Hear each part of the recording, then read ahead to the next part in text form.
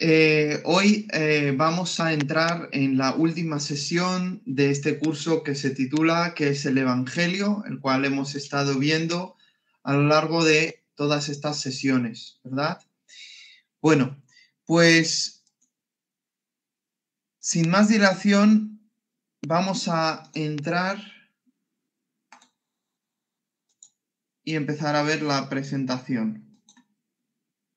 Parte de la sesión de hoy va a ser un repaso de, lo visto, obviamente, como solemos hacer, brevemente, y vamos a hablar a continuación del tema precisamente que nos ocupa hoy, que es la vida cristiana. ¿Os acordáis que hemos hablado de Dios, hemos hablado del hombre, hemos hablado de, la, de, Cristo, de la salvación? Bueno, pues, eh, ¿y qué viene después? ¿no? ¿Qué viene una vez que hemos conocido a Jesucristo, viene toda esta etapa, ¿no? Que está entre la justificación y la glorificación, que llamamos la santificación. Bueno, pues, ¿qué sucede en esta etapa? Eso es lo que, de lo que vamos a, estar hablando eh, mayormente. Entonces, repasando un poco habíamos dicho acerca de Dios, de su carácter perfecto, que Dios es santo. Por ello también dijimos que Él es justo y es amor. Os había dicho esta frase, porque Dios es santo, no podemos entrar al cielo siendo pecadores, porque Dios es justo, debemos ir al infierno. Pero porque Dios es amor, ha venido a librarnos de las consecuencias de nuestras injusticias, ¿sí? Viene a librarnos, ¿sí? El amor de Dios viene a librarnos de la justicia o del juicio, más concretamente de Dios, ¿sí? Y Él lo hace, bueno, lo hace por su misericordia, por un lado, no dándonos el mal que nos merecemos, y por otro lado, por su gracia, dándonos el bien que no nos merecemos. ¿Vale? Dios es amor, Dios es justo, Dios es santo. Habíamos visto asimismo el carácter de la humanidad. La humanidad es moralmente corrupta. ¿sí? Todos pecaron y están destituidos de la gloria de Dios. Nadie puede estar con Dios en su estado de pecaminosidad, pero es que tampoco nadie quiere estar con Dios en su pecado, eh, eh, eh, en su estado de pecaminosidad, ¿sí? en su depravación. Los hombres son culpables y están condenados, ¿sí? Viendo la gracia de Dios, viendo las bondades y las misericordias de Dios, como nos da el sol y nos da la lluvia, como vemos la bondad tras bondad todos los días de nuestra vida, pues el ser humano lo que hace es cerrarse y no quiere ah, abrirse y, y, entregarse a Dios, ¿no? Los hombres son culpables y están condenados porque teniendo la luz prefieren las tinieblas.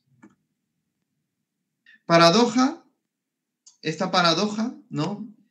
Ah, que, habíamos visto resulta en la redención, ¿no? Que a pesar de que Dios es santo, Dios es justo, Dios es amor también. ¿Y cómo Dios puede ser justo y amor a la misma vez y contradecirse? Bueno, la solución estaba en el pago, ¿verdad? La justicia de Dios por medio de la fe en Jesucristo. Es decir, ¿a quién regala Dios esa justicia, esa justificación? Para todos los que confían, todos los que creen, no hay distinción por cuanto todos pecaron y no alcanzaron la gloria de Dios, siendo justificados gratuitamente por su gracia, por medio de la redención que es en Cristo Jesús. Romanos 3, 22 al 24. Y habíamos dicho que todo esto es gracias a Jesucristo, ¿sí? Y que solemos eh, enfatizar la necesidad de la cruz, ¿sí? Y que lo importante que era que pagara por nosotros, pero a menudo se nos escapa aquella parte de que es para una justificación efectiva, es necesario que haya un hombre perfecto, que nunca haya pecado en ningún momento y que su vida, su vida santa, justa, es imputada, si es puesta en, en nuestra cuenta en el momento en el que confiamos en Él y sucede eso que llamamos pues eso, ¿no? Eh, justificación a través de la sustitución al que no conoció pecado, Dios por nosotros lo hizo pecado para que seamos justicia de Dios en Él. Bueno, pues para que seamos justicia de Dios en Él, es necesario que Él, habiendo sido tentado en todo, como dice Hebreos, no hubiese pecado. Entonces Cristo en la cruz sufrió la ira de Dios. La ira, todos éramos hijos de ira, como dice Efesios. Cada uno vivíamos como queríamos, hacíamos lo que nos daba la gana, seguíamos la corriente diabólica del príncipe de la potestad del aire, pero Dios nos dio vida, nos transformó, nos hizo su pueblo, ¿sí? Pero todo esto es gracias a que en un momento, en el pasado, Él pagó por nosotros. ¿Cómo un enemigo de Dios puede volverse un amigo de Dios? ¿Cómo alguien impuro puede volverse puro? Gracias a Jesucristo, quien fue hecho maldición por nosotros. Y leímos esto en varias ocasiones. Ciertamente llevó Él nuestras enfermedades y sufrió nuestras dolores. Nosotros le tuvimos por azotado, por herido de Dios y abatido, mas Él herido fue por nuestras rebeliones, molido por nuestros pecados, el castigo de nuestra paz o por nuestra paz fue sobre él y por su llaga fuimos nosotros curados, ¿sí? Una enfermedad mayor que es el, pecado y la separación de Dios. Y pues luego en la llegada del reino de Dios a través de Cristo resulta en eh, que Él acaba cargando con nuestras enfermedades físicas, mentales, espirituales de todo tipo y acabaremos resucitados totalmente sanos y ya no habrá muerte. Entonces, la llegada del reino de Dios, como ya sabéis, también se evidencia en las sanidades, en los milagros hechos en el nombre de Jesucristo. ¿Sí? Por lo tanto, el castigo de paz fue sobre él, sí, y por su llaga fuimos curados. Alrededor de la hora novena, dice Mateo, Jesús exclamó a gran voz diciendo, Elí, Elí, la sabactaní, esto es, Dios mío, Dios mío, ¿por qué me has abandonado? Citando el Salmo 22, ¿verdad? El cual, donde el rey David habla en primera persona acerca de los sufrimientos que su hijo, el hijo de David, digamos el Mesías, un día llegaría a sufrir, sufrimiento que quizás David no sufrió. No leemos que estuviera rodeado de malhechores que hubiesen repartido sus vestidos y se hubiera echado suerte sobre su ropa, no leemos en ningún momento que hubiesen horadado las manos y los pies de David, ¿vale? Y muchas más cosas que dice el Salmo 22. Sin embargo, ese salmo se cumple en la persona de Cristo cuando Él cita a propósito en esa cruz, ¿por qué me has desamparado? ¿Por qué me has abandonado? Para que la gente se diera cuenta en ese momento que en, delante de sus propios ojos se estaba cumpliendo el Salmo 22 sin que ellos se hubiesen dado cuenta. Él es el Mesías. Además, Él sintió lo que deberíamos sentir todos nosotros en el infierno, excluidos de la presencia de Dios y de la gloria de su poder. ¿De qué somos salvados? Ya lo hemos hablado bastantes veces somos, eh, somos en primer lugar cuando fuimos justificados por medio de la fe en el pasado, cuando, eh, o, si todavía pues no has venido a la fe en Jesucristo, todavía no has sido justificado, pero para un, la perspectiva de un cristiano, ¿sí? De alguien ah, que ya está en ese ámbito del reino de Dios, bueno, pues la justificación es algo pasado. Él nos ha salvado del castigo de nuestro pecado o de la culpa de nuestro pecado, ¿de acuerdo? También nos está salvando en tiempo presente continuo del poder del pecado. Se llama santificación, ¿sí? De lo cual vamos a estar hablando hoy. Y finalmente, cuando resucitemos de la muerte y nuestro espíritu y alma sean unidos con ese cuerpo inmortal, celestial que Dios nos dará, seremos libres de la presencia del pecado, glorificación. Ya habíamos eh, hablado de una manera bastante extensa sobre cada uno de estos puntos. Y entonces, ¿de qué nos salva? Del castigo o culpa, del poder, incluso de la presencia. Pero todo esto viene incluido en un pack que se llama en Cristo. Porque en el momento en el que tú vienes a estar en Cristo a través de la fe, recibes el sello del Espíritu Santo, te vuelves alguien de Dios, el pueblo de Dios, del reino de la luz, alguien que pertenece a Dios y será redimido. Y el Espíritu Santo es ese sello de la redención hasta el final, hasta el momento en el que resucitemos y estemos en el reino de Dios para siempre. Bien, ¿de qué somos salvados? ¿De qué somos eh, salvados? Romanos 5, 6 al 9 habíamos oído también esto, porque mientras aún éramos débiles, a su tiempo Cristo murió por los impíos, porque difícilmente habrá alguien que muera por un justo, aunque tal vez alguno se atreva a morir por el bueno, pero Dios demuestra su amor para con nosotros, en que siendo aún pecadores, Cristo murió por nosotros. Por tanto, el amor de Dios pues, no se compara ¿no? con el amor humano. Aquí igual nos atrevemos a dar nuestra vida por alguien justo, que creemos que es mejor que nosotros y que tiene un papel y una labor más importante que la nuestra, ¿verdad? Pero él estaba muriendo por sus enemigos. Porque, eh, fijaos, entonces mucho más habiendo sido ahora justificados por su sangre, seremos salvos de la ira de Dios por medio de él. ¿Por qué la ira de Dios? Pues porque nosotros siendo enemigos de Dios, dice Romanos 5 también, es que él pagó por nosotros y nos vino a reconciliar con Dios. ¿Sí? Entonces, ¿de qué somos salvados? ¿De qué somos salvados? Somos salvados de la ira de Dios por medio de Él, ¿sí?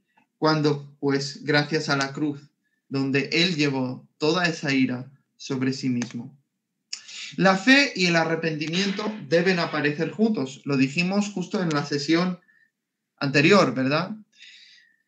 Habíamos hablado, eh, bueno, que estas dos cosas van juntas, que son como dos caras de una misma moneda, donde decimos no a nuestra vida, a nuestra manera, de la vida a nuestra manera, siendo eh, autónomos, autosuficientes, dirigidos por nosotros mismos, por nuestras pasiones, deseos, ambiciones, proyectos, por el pecado. Y por otro lado, tenemos el yes, ¿no? Que es cuando decimos sí al Señor, sí a su reino, sí a su palabra, sí a su espíritu, sí a que nos moldee y a que nos transforme y haga de nosotros las personas que Él quiere.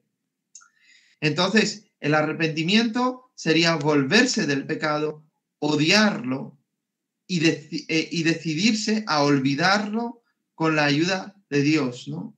Eh, es decir, darle la espalda a esa forma de vivir, ¿no?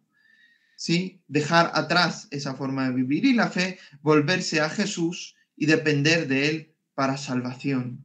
Entonces, eh, básicamente eh, en, la, en la sesión anterior también os había mostrado que el arrepentimiento, como vamos a ver a continuación, es quitarse del trono, del trono que habíamos estado usurpando y la fe es confiar en Él, que gracias a su muerte, Él nos redimió y que resucitó para que viéramos y supiéramos que Él es quien dijo que es.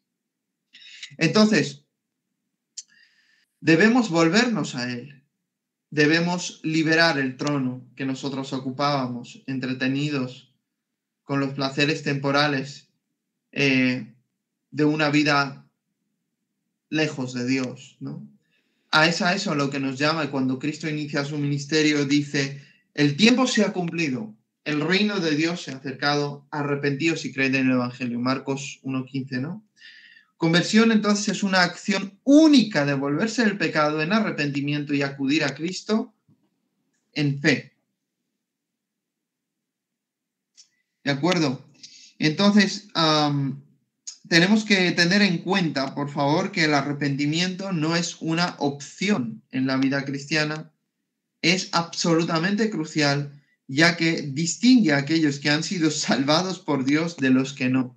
La de esa doctrina falsa de que solo es la fe y que podemos aceptar a Jesús como Salvador, pero, como, pero no como Señor, es sacada de la manga, totalmente inventada, no existe tal cosa en la Biblia. Siempre las dos cosas van juntas, son como dos caras de una misma moneda. Vamos a continuar. Y ah, entonces la fe y el arrepentimiento, dijimos, aparecen juntos. Fijaos, ¿no? lo que os estaba ilustrando. Aquí está yo, pero es que esto no, no es mío. En el lugar de mi corazón, el lugar de mi espíritu, el lugar del gobierno de Dios, es el lugar del gobierno de Dios. Que nosotros hemos dicho en el Edén no a Dios y hemos nacido en un estado en el que nosotros nos sentamos en el lugar que le pertenece a Dios. Dios nos manda hoy que nos arrepintamos por cuanto Él estableció un día en el cual juzgará al mundo con justicia por aquel varón, aquel varón a quien Él resucitó de entre los muertos, ¿verdad? Jesús de Nazaret. Entonces debemos, el hombre eh, eh, aquí es su propio rey, cumple su propia voluntad y no el estándar de Dios, no los requerimientos creacionales de Dios. Y, en cambio aquí que tenemos, tenemos en el arrepentimiento y la fe, la idea es que Cristo es, sea el que se siente, ¿sí? A nuestro volante, si queréis, en nuestro coche, ¿no? Que Él sea el que guíe nuestra vida y no nosotros creyendo que sabemos conducir bien, acabar perdidos totalmente y en la dirección opuesta a aquella para la cual Él nos hizo, que es estar en sus brazos para siempre. Vivir bajo el estándar de Dios entonces es a lo que Él nos llama, el reino de Dios en nuestro corazón es, es eso.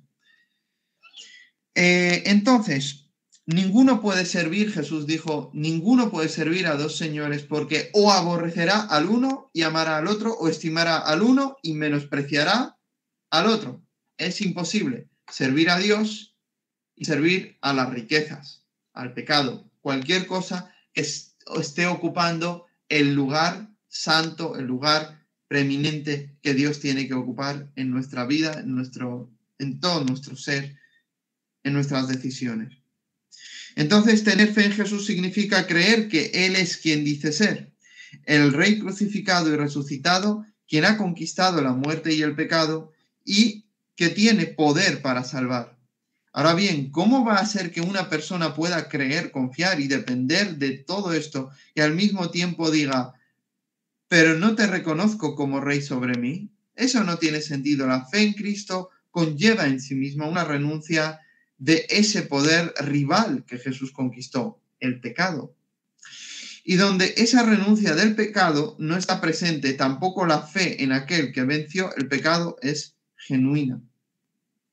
La fe no puede ser genuina si no hay victoria sobre el pecado, victoria sobre el mundo, una transformación verdadera donde aborrecemos la forma en la que vivíamos antes y nos enamoramos de Dios y Él se vuelve el primero, lo primero más importante de nuestra vida, nuestro, nuestra perla de gran precio, nuestro tesoro escondido y hallado, ¿no?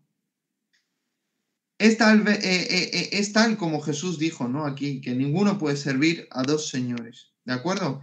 Poner la fe en el Rey Jesús significa renunciar a ser, a renunciar a ser sus enemigos.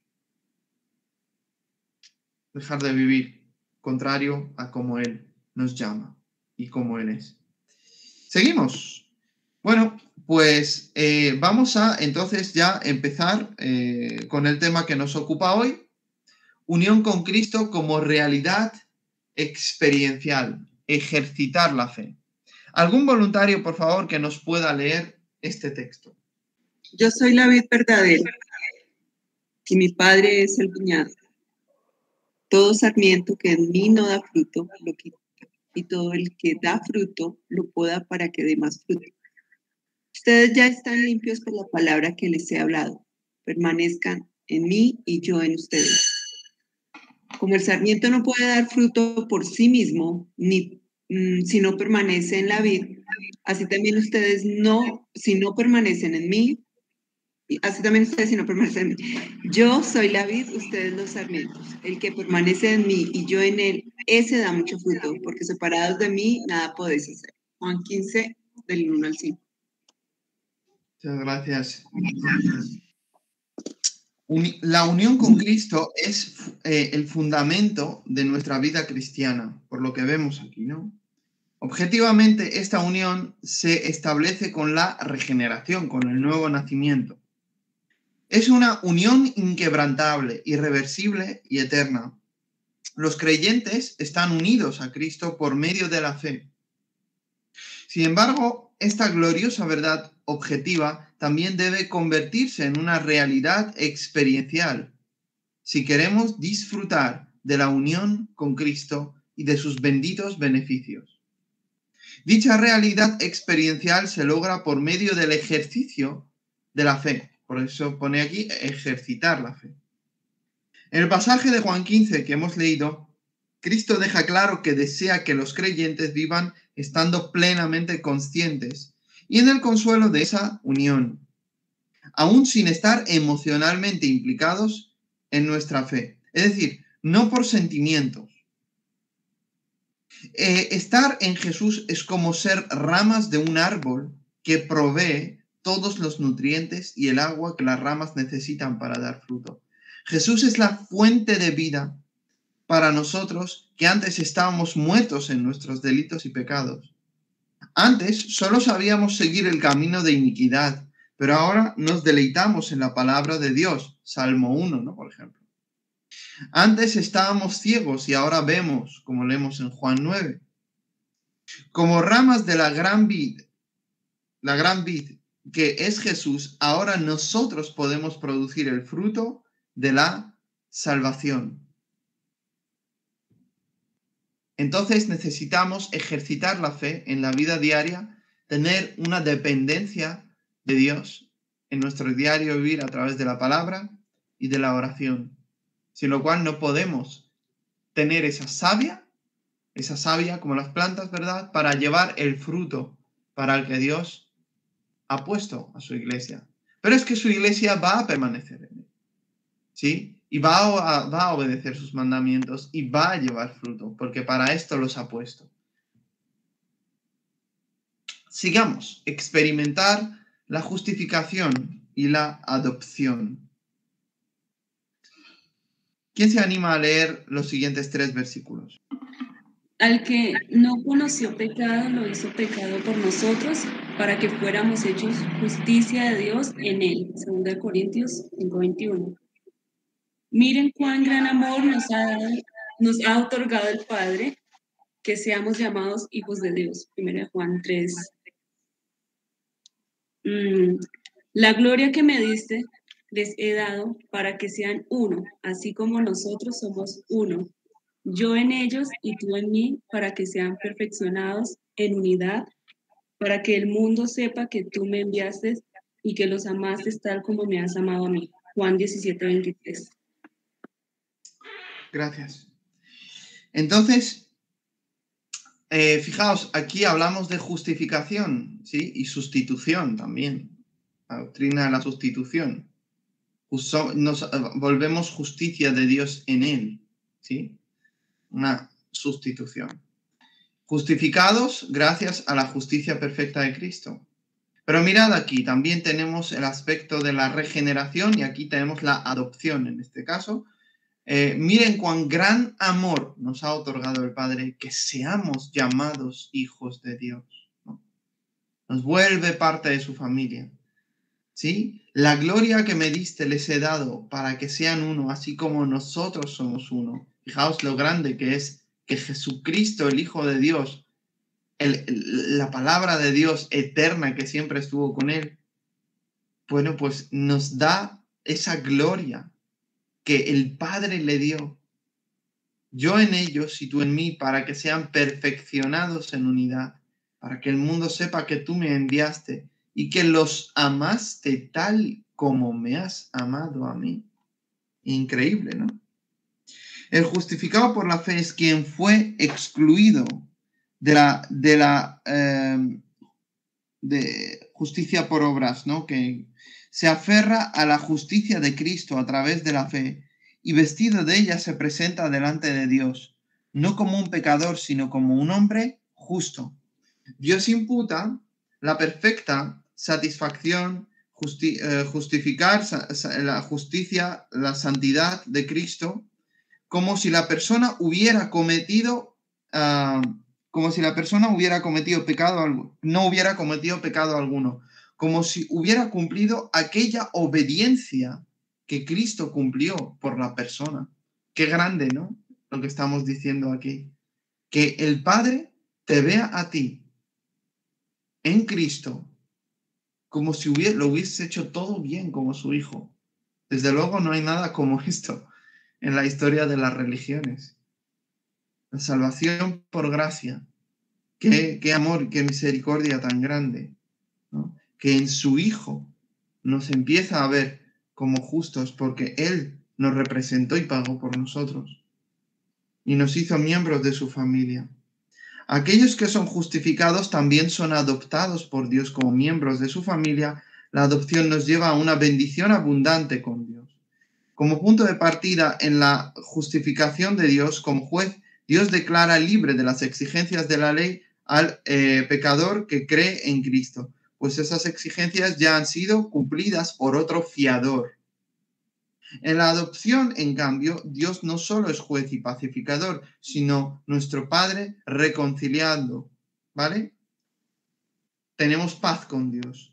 Aunque pareciera ser demasiado maravilloso para ser verdad, Dios nos ama igual que a su propio Hijo, como acabamos de leer, y que los amaste tal como me has amado a mí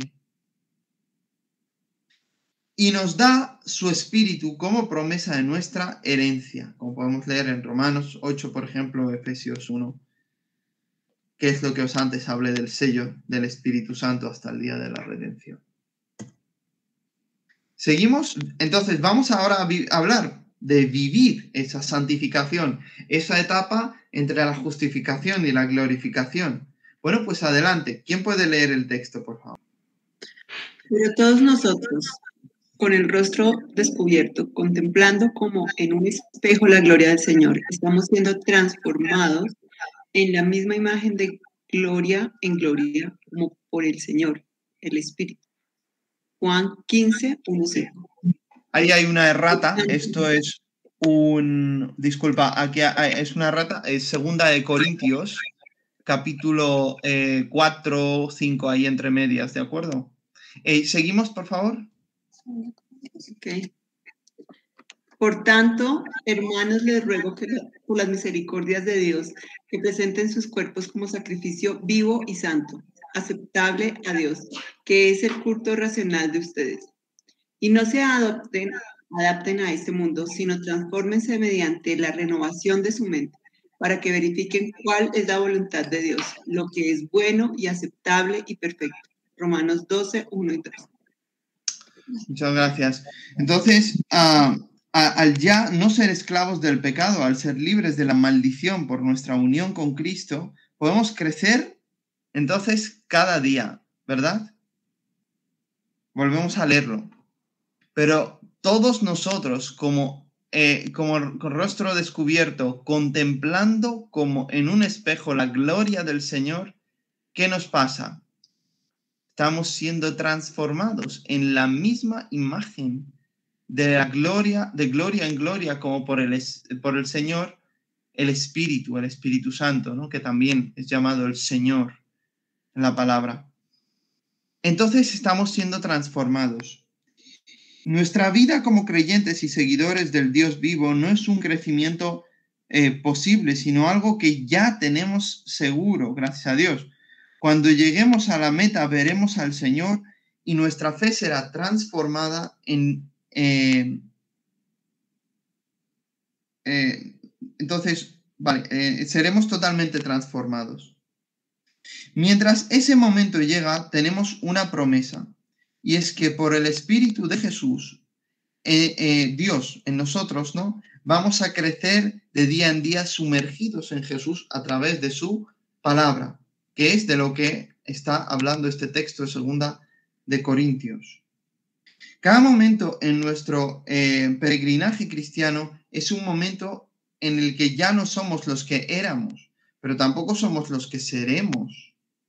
Somos lo que nos estamos volviendo, ¿no? En este devenir de la transformación, ¿no? Somos transformados día a día a la imagen de Jesús.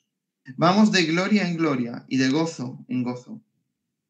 Un principio fundamental que fluye de nuestra relación de unión con Jesús es que hemos sido libres. Antes solo podíamos escoger nuestras propias cadenas. Todos pecábamos y éramos pecadores, pero Él nos ha hecho libres de los ídolos que servíamos. El cristiano ya no es esclavo del pecado. Ya no hay fuerza del pecado sobre el creyente. Las cadenas han sido rotas. Es cierto que sí, eh, que si luchamos a diario con el pecado, pero somos eh, siervos de Dios, ¿sí? Aunque luchemos a diario contra el pecado, ya somos siervos de Dios, según Romanos 6:22. Es decir, ahora servimos el reino de Dios y su justicia. Es lo que buscamos con todo nuestro corazón, el reino de Dios y su justicia. Somos salvos por medio de la fe, pero Cristo ha mandado a los que creen en Él que se identifiquen públicamente con Él y con su pueblo por medio del bautismo, de lo cual también ahora eh, vamos a hablar. Pero antes de llegar allí, fijaos aquí lo que eh, este otro texto, que también habla de la transformación, ¿de acuerdo? Hermanos, les ruego por las misericordias de Dios. Bueno, ¿cuáles son esas misericordias de Dios? En la carta a los romanos es todo lo que se nos cuenta, ¿sí? Todo lo que Dios ha hecho desde el capítulo 3, ¿vale? Del capítulo 3 hasta el capítulo 11, ah, todo ese plan de redención, toda esa providencia en la historia de Dios, en la salvación de Israel, en la salvación de la iglesia, etcétera, etcétera. Bueno, pues como Dios es tan grandioso y tan misericordioso, que ha decidido salvarnos, que la salvación no solo llega al pueblo de Israel, es que encima nos llega a nosotros los gentiles. Como Dios no, lo hace no por obras, sino por, por medio de la fe, así como justificó Abraham por estas misericordias de Dios, que Dios nos da, regala gratuitamente el perdón y la justificación.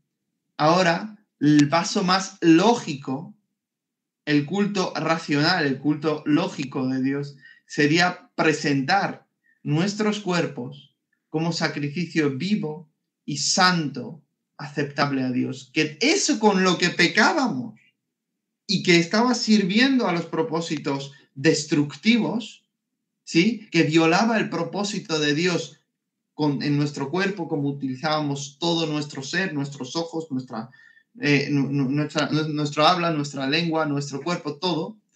Ahora se lo damos a Dios para vivir una vida apartada para Él, de acuerdo al propósito y diseño del plan de Dios, que sea aceptable a Dios. Dice que es el culto racional, el lógico, ¿no? De ustedes. Lo más lógico que uno puede hacer es entregarse a Dios en espíritu, alma y cuerpo. Y dice, y no se adapten a este mundo, sino transfórmense. ¿Veis? De nuevo la palabra transformación, que viene de metamorfosis en griego, ¿no? Lo que tienen las mariposas, ¿no? Una transformación, transformación, mediante la renovación de su mente. Bueno, ¿y cómo sucede esto? ¿no? Gracias a la palabra de Dios, ¿no? Entre otras cosas. Transformadnos mediante la renovación de nuestra mente. Es una obra del Espíritu Santo en el ser humano a través de la palabra. Para que verifiquen cuál es, ¿sí? Porque Dios sí quiere que vivamos y sepamos cuál es la voluntad de Dios, lo que es bueno y aceptable y perfecto. ¿Estamos de acuerdo? Vale, pues y aquí es donde comentábamos que aunque somos salvados por la fe, Él nos manda identificarnos públicamente con Él a través del bautismo, de ser sumergidos por inmersión en el agua en una edad de conciencia. Veamos estos textos, por favor. Eh, ¿Quién nos lo lee? Amén. Acercándose Jesús les dijo, Toda autoridad me ha sido dada en el cielo y en la tierra.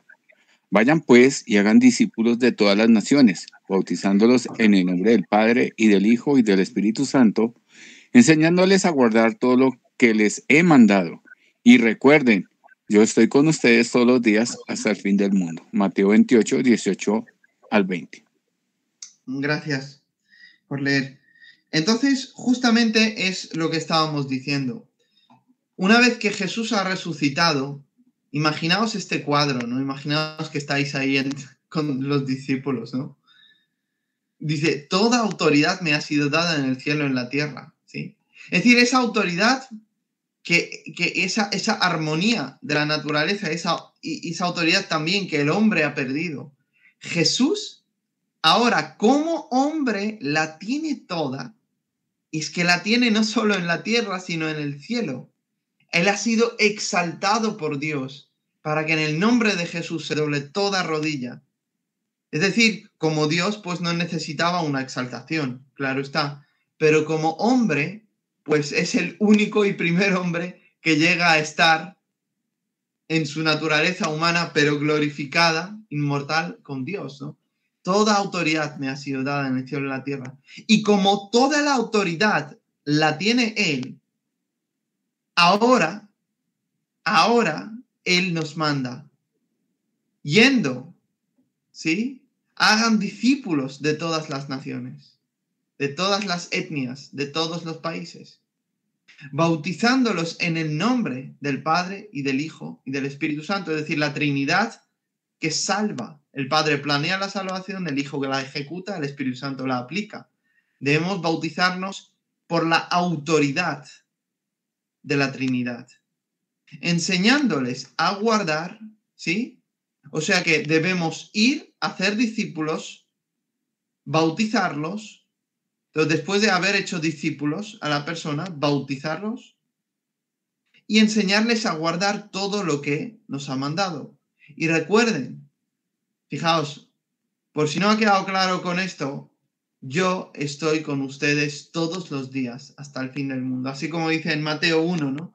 Que él sería llamado Emanuel, ¿no? Eh, según la profecía de Isaías, el nombre profético, Dios con nosotros. Bueno, pues es Dios con nosotros porque se queda con nosotros para siempre. Yo estoy con vosotros todos los días hasta el fin del mundo. Amén, ¿no? Entonces, ¿qué es lo que vemos aquí? en el bautismo, cosa que Él ordena hacer a todos los que se hagan discípulos de Jesús, han de identificarse públicamente con la, obra salvadora de Dios, del Padre, del Hijo y del Espíritu Santo. ¿Sí? Entonces, eh, sería el primer paso, el bautismo sería el primer paso de obediencia del cristiano. ¿Sí? En, un sentido eh, eh, de, lo que Dios nos manda hacer, ¿no? Yo sé que a menudo las personas que son bautizadas a veces con meses después, ¿no? Yo, por ejemplo, me acuerdo, me convertí un julio y me bauticé en enero, ¿sí? Porque no, me bautizaban antes, ¿no? Porque hacen un, curso de preparación y lo cual me parece muy bien, ¿vale? Eh, entonces, cuando decimos que es un paso de obediencia, no quiere decir que no tenemos que obedecer antes a Dios, lo que quiere decir es que es algo que Cristo requiere, demanda que todo cristiano haga. ¿Por qué? Porque es la manera de unirnos al cuerpo de Cristo de manera oficial, de manera pública, de manera que todo el mundo, en el cielo, en la tierra, debajo de la tierra, sepa que nosotros declaramos que seguimos a Jesucristo desde ese momento y en adelante. ¿Vale? El bautismo es obligatorio, pero no es necesario para salvación, pero es obligatorio de hacerse para cada cristiano, ¿vale? Seguimos. En cuanto a esta eh, identificación pública, ¿no? Ah, tenemos aquí un episodio, ¿verdad? Eh, tenemos un episodio eh, en el cual Felipe ¿sí? Es llevado, pues, llamado por un ángel que le dice que vaya y, predique, ¿no? A esta persona. Dice, regresaba a su país sentado en un carruaje, este hombre etíope, ¿no? Este eunuco etíope que servía a la reina en, en Etiopía. Regresaba a su país sentado en su carruaje y leía al profeta Isaías. Y el Espíritu dijo a Felipe, ve y júntate a ese carruaje claramente, ¿no? Ve y júntate a ese carruaje. A ver qué sucede. ¿Quién se anima a seguir leyendo este texto?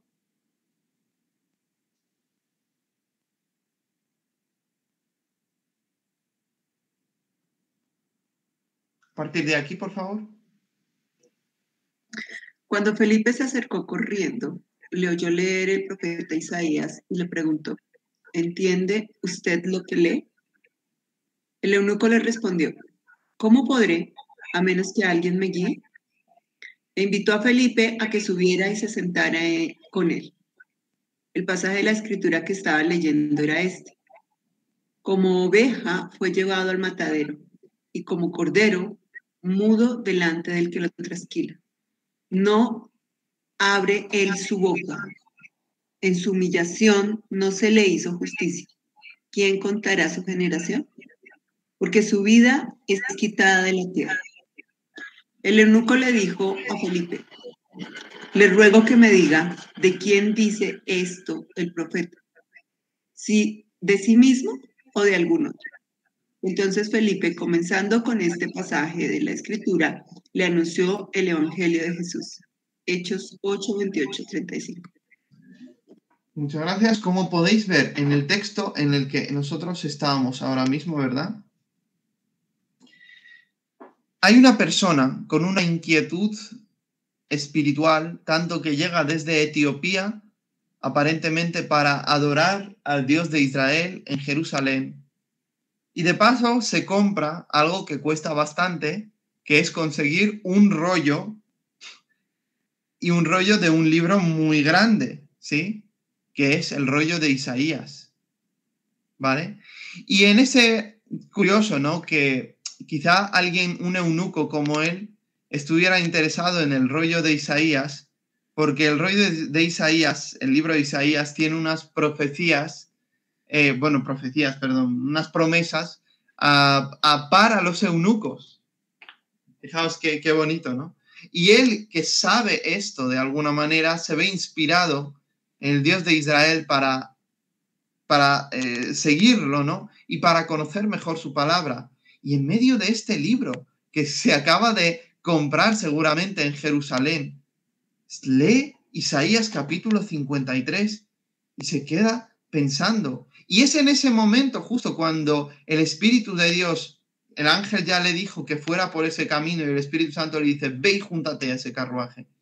Bueno, pues él está leyendo este pasaje que justamente hace referencia al siervo de Yahvé. ¿Y quién como habíamos leído, creíamos que él estaba pagando, ¿no? Por sus propios pecados, pero en realidad él estaba pagando por todos nosotros, estaba sufriendo por nosotros. Como oveja fue llevado al matadero, como cordero mudo delante del que lo trasquila. Entonces, él se sentía muy afortunado de tener a un judío al lado que le iba a explicar la palabra de Dios. Bueno, qué bien, ¿verdad? Que ese judío no solo era judío, sino era un judío que creía en su Mesías. No era cualquier judío, era un judío que creyó en su Mesías, ¿vale? Era Felipe, el diácono y evangelista de Hechos de los Apóstoles. Ahora, él le explica el sentido de este texto. Entonces, dice Felipe, comenzando con este pasaje de la escritura, le anunció el Evangelio de Jesús. Qué sitio tan maravilloso, ¿no? Para partir de una explicación acerca del Evangelio. está la providencia de Dios, ¿verdad? Sin duda alguna. Ah, y, y, ahora llega la parte del bautismo. Entonces este hombre cree, dice, yendo por el camino, llegaron a un lugar donde había agua. Mirad, un estanque, ¿no? Ahí. Donde había agua. Y el eunuco dijo, allí hay agua. ¿Qué impide que yo sea bautizado? O sea, que él había creído. Y dice, ¿existe algún impedimento para que yo me bautice? Y fijaos, y Felipe le responde, ¿no? Si, si usted cree con todo su corazón, puede. Creo que Jesucristo es el Hijo de Dios, respondió el eunuco. Ha creído en el Evangelio, ¿verdad? Y mandó parar el carruaje, ambos descendieron al agua y Felipe lo bautizó. Y como sabéis, además después de esto, inmediatamente Felipe desapareció de ahí, fue tomado y apareció en otro sitio para predicar el Evangelio con más eh, efectividad, con más rapidez de un sitio a otro, ¿no? Eh, entonces, eh, fijaos el texto que tenemos aquí. Ahora bien, algo que hay que considerar aquí es que este texto muestra claramente una identificación pública con Cristo. Y aunque esto es una verdad general, este texto eh, ¿vale? Hay quien ah, pues lo cuestiona y, con razón que ah, este pasaje concretamente no aparece enteramente en los manuscritos más antiguos. Eh, y, fijaos, eh, en la Reina Valera actualizada, por ejemplo, que utiliza eh, las referencias de los manuscritos más antiguos, dice, mientras iban por el camino llegaron a donde había agua y el eunuco dijo, he aquí hay agua, he aquí hay agua. ¿Qué impide que yo sea bautizado? Y fijaos, desde aquí, entonces, hasta aquí, esta es la parte que no está en los manuscritos más antiguos y eh, en referencia a esto, por ejemplo, no está en la Reina Valera actualizada, no está en la nueva versión internacional, no está en las versiones modernas, ¿no? Que intentan, pues, irse lo más para atrás posible para reconstruir el texto tal como estaría de una manera más precisa, más exacta en el siglo I. Eso es al menos eh, cómo funciona la ciencia de la crítica textual. ¿Vale? Y entonces eh, tenemos este pasaje que es importante que lo sepáis, ¿vale? Es importante que lo sepáis. Entonces, eh, mandó parar el carro, entonces dice, ¿quién impide que yo sea bautizado? Y mandó parar el carro, Felipe y el eunuco descendieron ambos al agua y lo bautizó. O sea, esta es la historia. Por eso dice, algunos manuscritos antiguos también incluyen, aunque con variantes, el versículo 37, ¿sí? que es el que hemos leído, ¿verdad? Donde hay una confesión específica, ¿no? Cosa que es necesaria, obvio. De hecho, de hecho, eh, es imposible muy altamente improbable que un pasaje como este existiera en los primeros siglos eh, si no hubiese sido verdad que el versículo 37 apunta a una práctica común de los cristianos. De hecho, sabemos que los cristianos en el siglo I, en el siglo II, en el siglo III, estamos hablando de muchos siglos, estaban siendo bautizados en una edad de conciencia. El bautismo, el, llamado el pedobautismo o el bautismo infantil, el bautismo eh, de los bebés, no era una práctica cristiana hasta bastante después, cuando eh, la iglesia cristiana casi estaba obligada por compromisos con el imperio y con que muchas personas de repente querían bautizarse y volverse cristianas porque el imperio se volvió cristiano y realmente entraron las, en las filas del, de la iglesia del cristianismo personas que no eran regeneradas, que no eran nacidas de nuevo, ¿no? Y entonces ahí también entra con bastante fuerza el bautismo infantil, aunque muy criticado, de acuerdo, por los propios padres de la iglesia. Entonces, ah, muchísimos padres de la iglesia pues no consentirían en un bautismo eh, infantil, ¿no? Cosa que pues se practica en la iglesia ortodoxa y en la iglesia católica romana hoy en día, ¿verdad?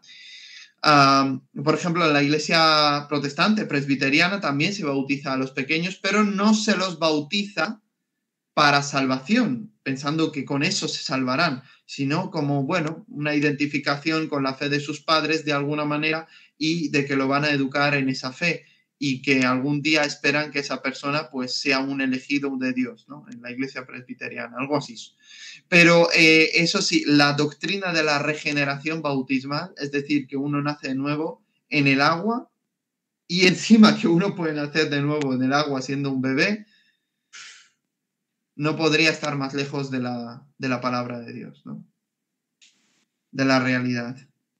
Entonces, bueno, eh, este texto como os digo, aunque no estuviese en los originales, suponiendo que no fue así, este texto evidencia precisamente la práctica clara, la convicción clara que los primeros cristianos tenían de la necesidad de que la fe preceda al bautismo. Y el bautismo es una identificación pública con Jesucristo.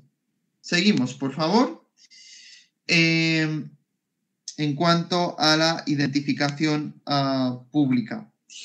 Eh, ¿Quién se anima a leer el siguiente texto, que es muy importante?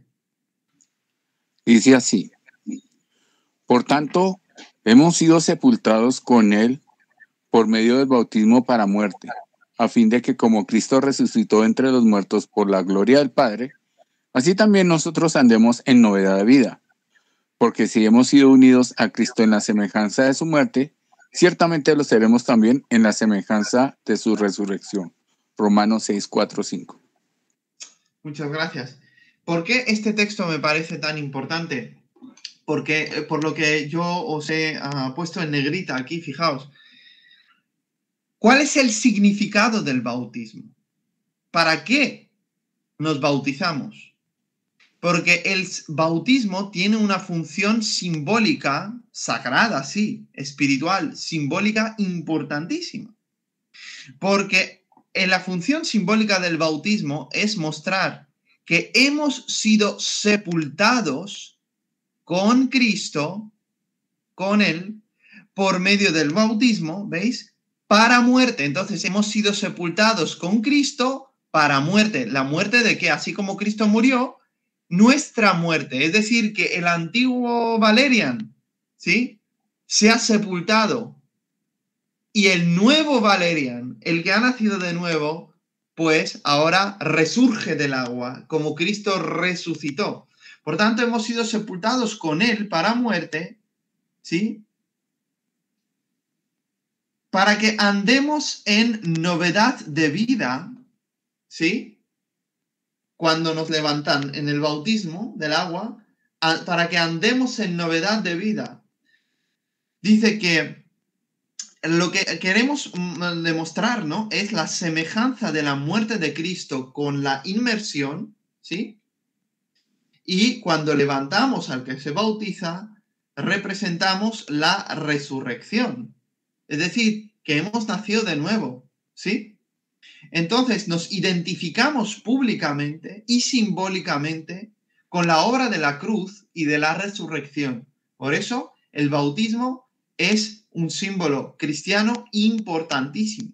¿sí? Eh, hemos sido sepultados con Él por medio del bautismo para muerte, a fin de que como Cristo resucitó de entre los muertos para la gloria del Padre, así también nosotros andemos en novedad de vida. Podríamos decir, para la gloria del Padre, ¿no? Porque si hemos sido unidos a Cristo en la semejanza de su muerte, ciertamente lo seremos también en la semejanza de su resurrección. ¿Sí?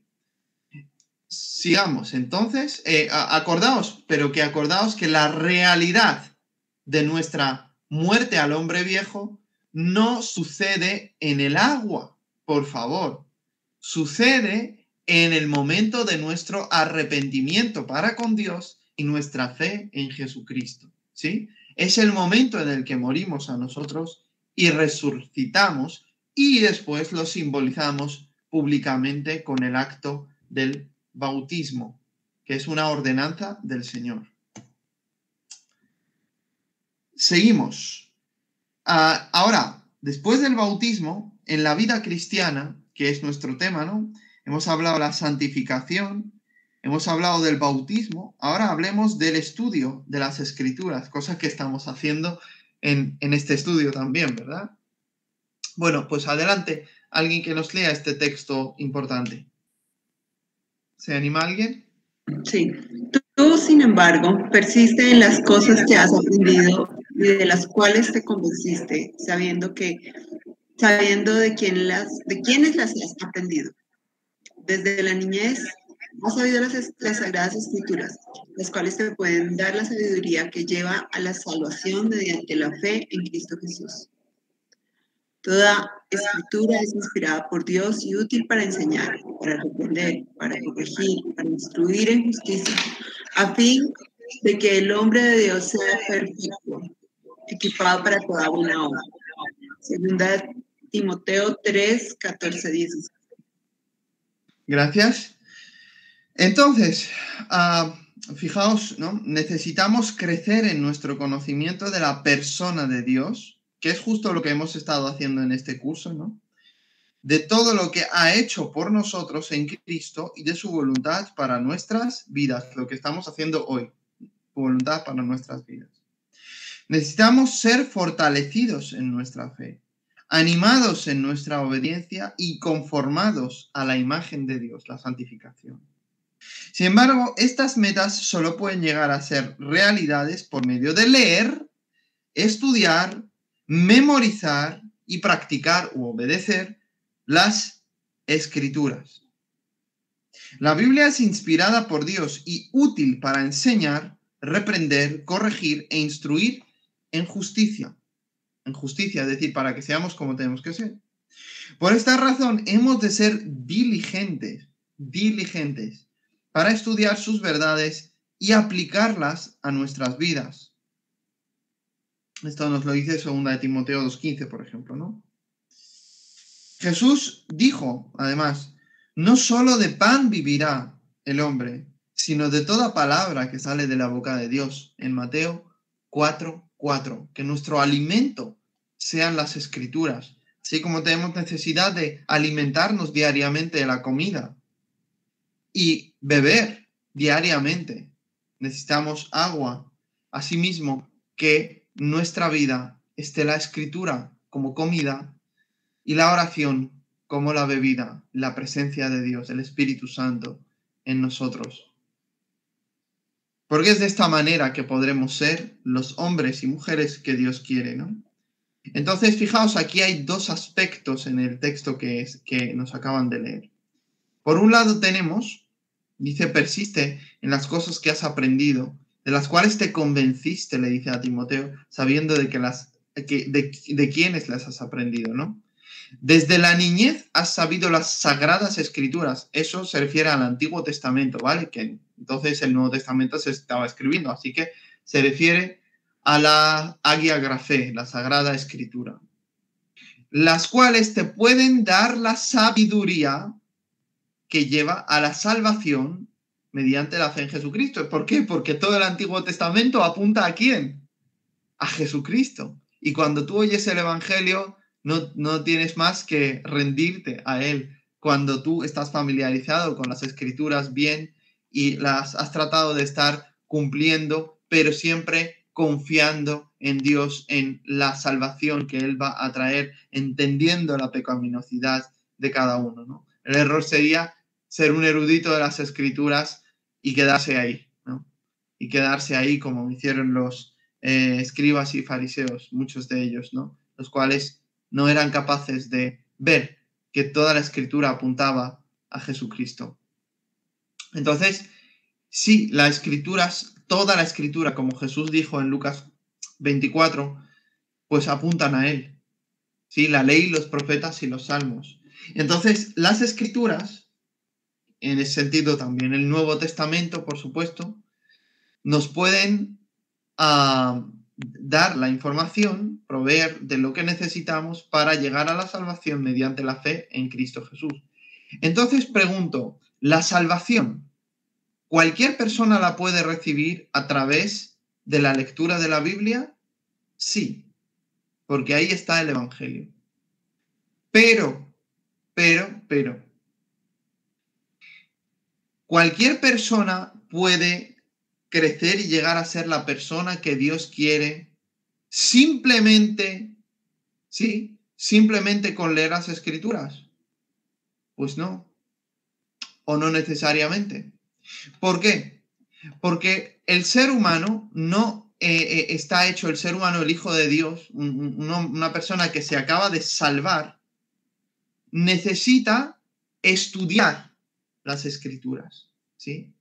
Entonces tenemos que dejarnos moldear por las escrituras. Que la escritura nos enseñe, nos reprenda, nos corrija, nos instruya en justicia a fin de que el hombre de Dios sea perfecto, maduro, ¿no? completo, equipado para toda buena obra.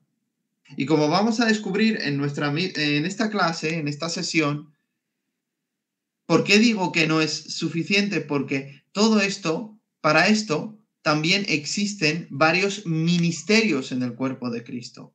No todas las personas cristianas tienen la misma capacidad de análisis, de lectura, de exégesis, de hermenéutica, de aprendizaje, de, yo qué sé.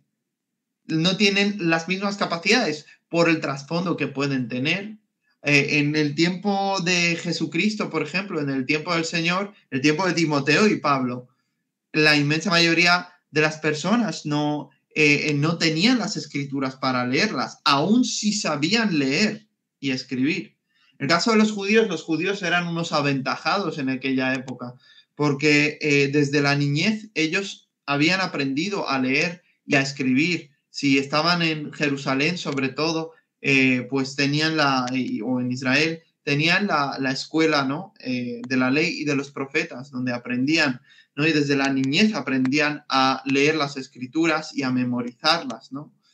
Pero pero la realidad es que muchísima gente de aquel, de aquel tiempo era, era analfabeta, ¿vale?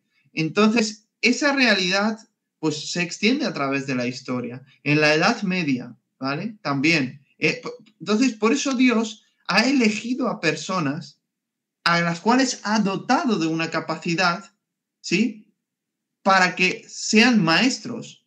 No porque se hayan auto nombrado maestros, cosa que la Biblia condena.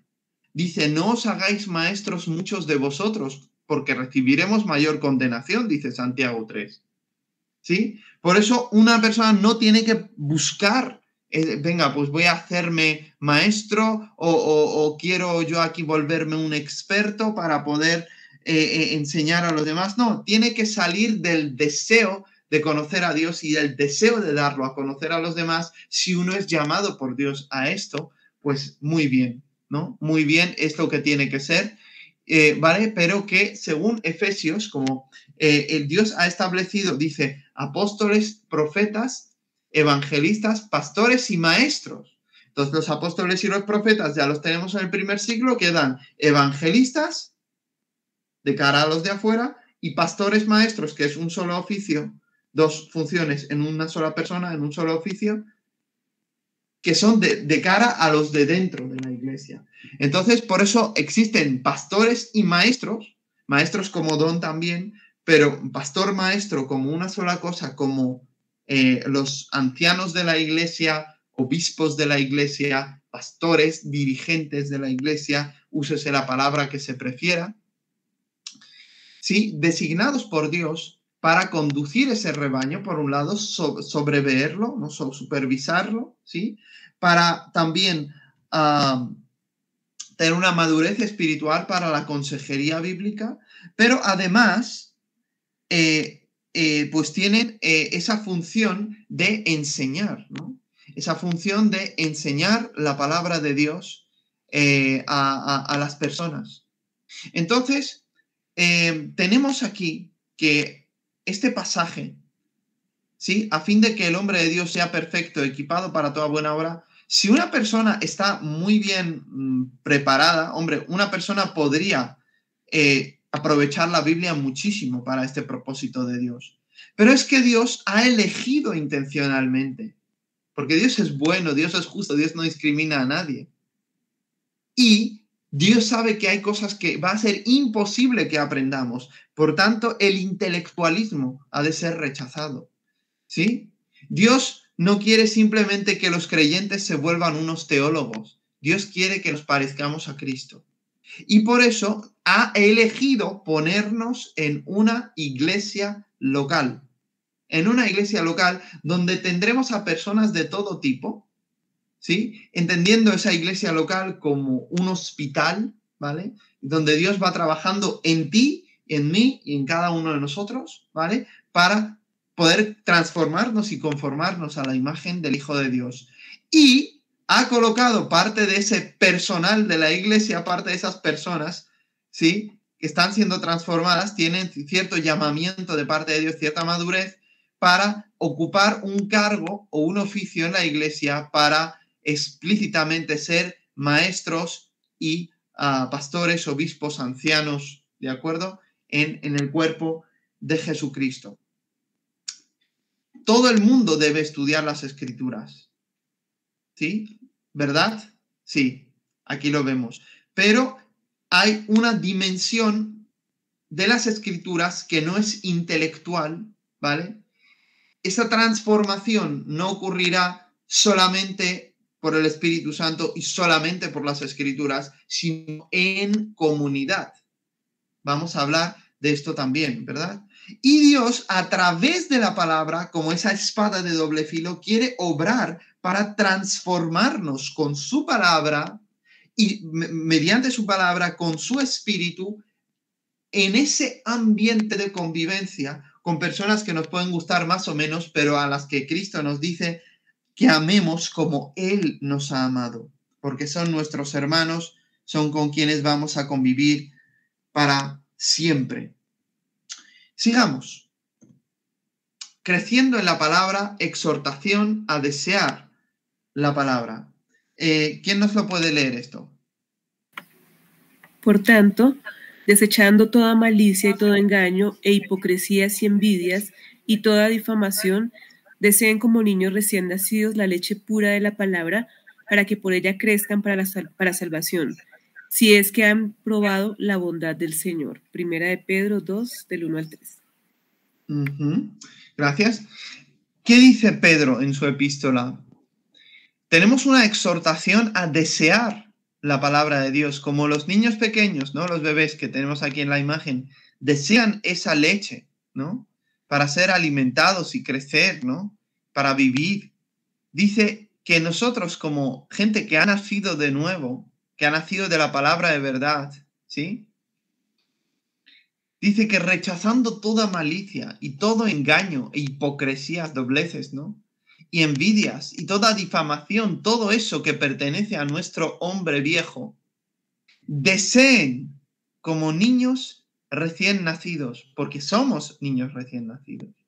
O sea que si el primer requisito para desear la leche pura de la palabra es ser niños recién nacidos. Si no has nacido de nuevo, tu deseo de conocer la Biblia ¿sí?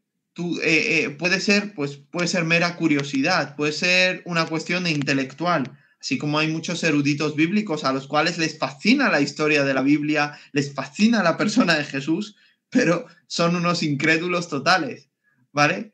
Que no han nacido de nuevo y, no quieren eh, quitarse presuposiciones filosóficas que les impiden ver la gloria del Evangelio de Jesucristo, ¿no? entonces, deseen como niños recién nacidos la leche pura de la palabra. También es posible que Dios a alguien que pues se va a convertir, pues le esté impulsando en esa convicción de pecado, ¿no? Que le esté impulsando a buscar la verdad y a conocerlo, ¿verdad? Pues es la obra de Dios, ¿no? Entonces, Dios, solo Dios puede hacer que queramos, ¿sí? Que eh, eh, poder seguirle, ¿no? Y todo eso. Entonces, desead como niños recién nacidos la leche pura de la palabra de Dios, para que por ella que pase la santificación, la transformación, para que crezcan para salvación o en la salvación, ¿no? Si es que han probado la bondad del Señor. ¿Por qué dice si han probado la bondad del Señor? Porque si no han probado la bondad del Señor, no puedes vivir esta realidad porque no eres un niño recién nacido. ¿Me explico? Entonces, deseen. Bueno, uno dice, ¿y cómo puedo yo desear? Vale, ya soy un hijo de Dios, soy nacido de nuevo, pero, pero bueno, tengo pereza o me duermo cuando leo la Biblia o algo así como la gente dice, bueno, pues, eh, ¿qué tenemos que hacer? tenemos que orar, tenemos que pedirle al Señor que nos ayude, ¿sí? Tenemos que también, obviamente, ¿no? Eh, no, no, leer la Biblia en una postura eh, en la que nos, nos, dormimos, como algunas personas ¿no? que leen la Biblia por la noche, porque a lo mejor no tienen más remedio, no tienen otro tiempo en su vida, pero la voluntad de Dios es que tengamos un tiempo de calidad, así como lo tenemos tener un tiempo de calidad con nuestros hijos, con nuestra esposa, con, con la gente que amamos, con nuestros mejores amigos, Dios quiere que tengamos un tiempo de calidad con Él. Entonces, siéntate bien, abre tu Biblia y empieza a leer. Y si te cuesta leer, pues para que tengas más sed de leer y te autodisciplines más en la lectura que necesitas, leer. Como, ¿no? Como hacer ejercicio. La devoción a la oración, que es lo que os decía, la palabra, pero también la oración. Eh, os leo este texto. Si permanecen en mí y mis palabras permanecen en ustedes, pidan lo que quieran y les será hecho. En esto es glorificado mi Padre en que den mucho fruto y así prueben que son mis discípulos. Por lo tanto, toda oración, ¿no? Toda oración que sea conforme a la voluntad de Dios, como explica el mismo Juan en su primera carta, será respondida por aquellos que viven en obediencia a la palabra de Dios, los que permanecen en el amor, permanecen en Dios, en su palabra, en sus mandamientos. Dios los escucha y cumplirá sus oraciones. Pero cualquier oración, no, solo aquellas que son conformes a su voluntad, ¿vale? Eh, a su voluntad general y más concretamente a su voluntad específica, ¿sí? Entonces tenemos que saber ah, que pues Dios puede responder sí cuando oramos y nos concederá lo que le hemos pedido. Dios podría decir no, que también es una respuesta de Dios, ¿vale? Si Dios no nos da lo que le hemos pedido, es que eso que le hemos pedido no estaba dentro de su perfecta voluntad. Menos mal que no nos da todo lo que le pedimos. Y, ah, pero también puede decir no todavía. ¿Sí? A lo mejor Él te va a dar esto en un futuro. En un futuro en esta tierra o a lo mejor en el cielo. ¿Vale? Entonces Dios eh, no está obligado a responder las oraciones. Entonces este texto se interpretado a la luz de Primera de Juan capítulo 5 también, ¿no? Donde se nos aclara, ¿no? Que, ah, no, eh, que, es decir, que Dios responderá que ya tenemos las peticiones que le hemos hecho siempre y cuando sean conformes a la voluntad de Dios, obviamente. Pero ¿por qué dice Cristo esto con, tanto, con tanta seguridad? Porque aquí Cristo está diciendo esto en el contexto de que los discípulos permanecen en Él y sus palabras permanecen en ellos. La, la persona que está nutrida de la palabra de Dios muy probablemente va a estar pidiendo cosas que son conformes a la palabra de Dios y al Espíritu de Dios.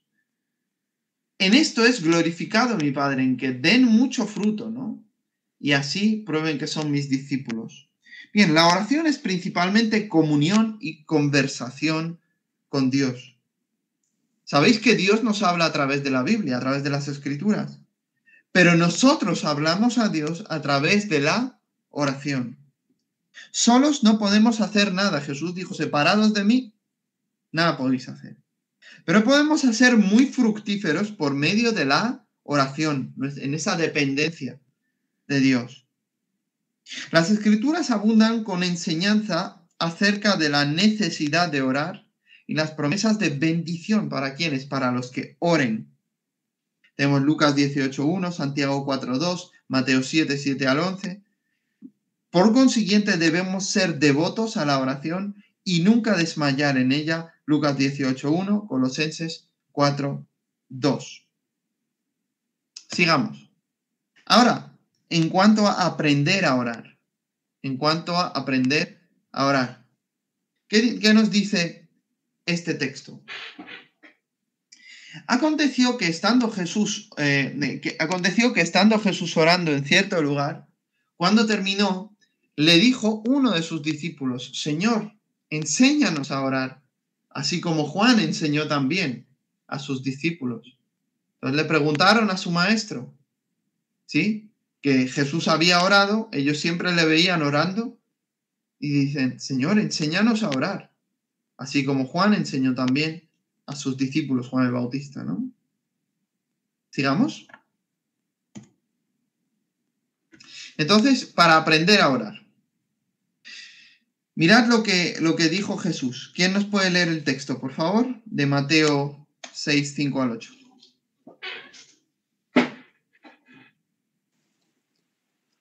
Cuando ustedes oren, no sean como los hipócritas, porque a ellos les gusta ponerse en pie y orar en las sinagogas y en las esquinas de las calles para ser vistos por los hombres.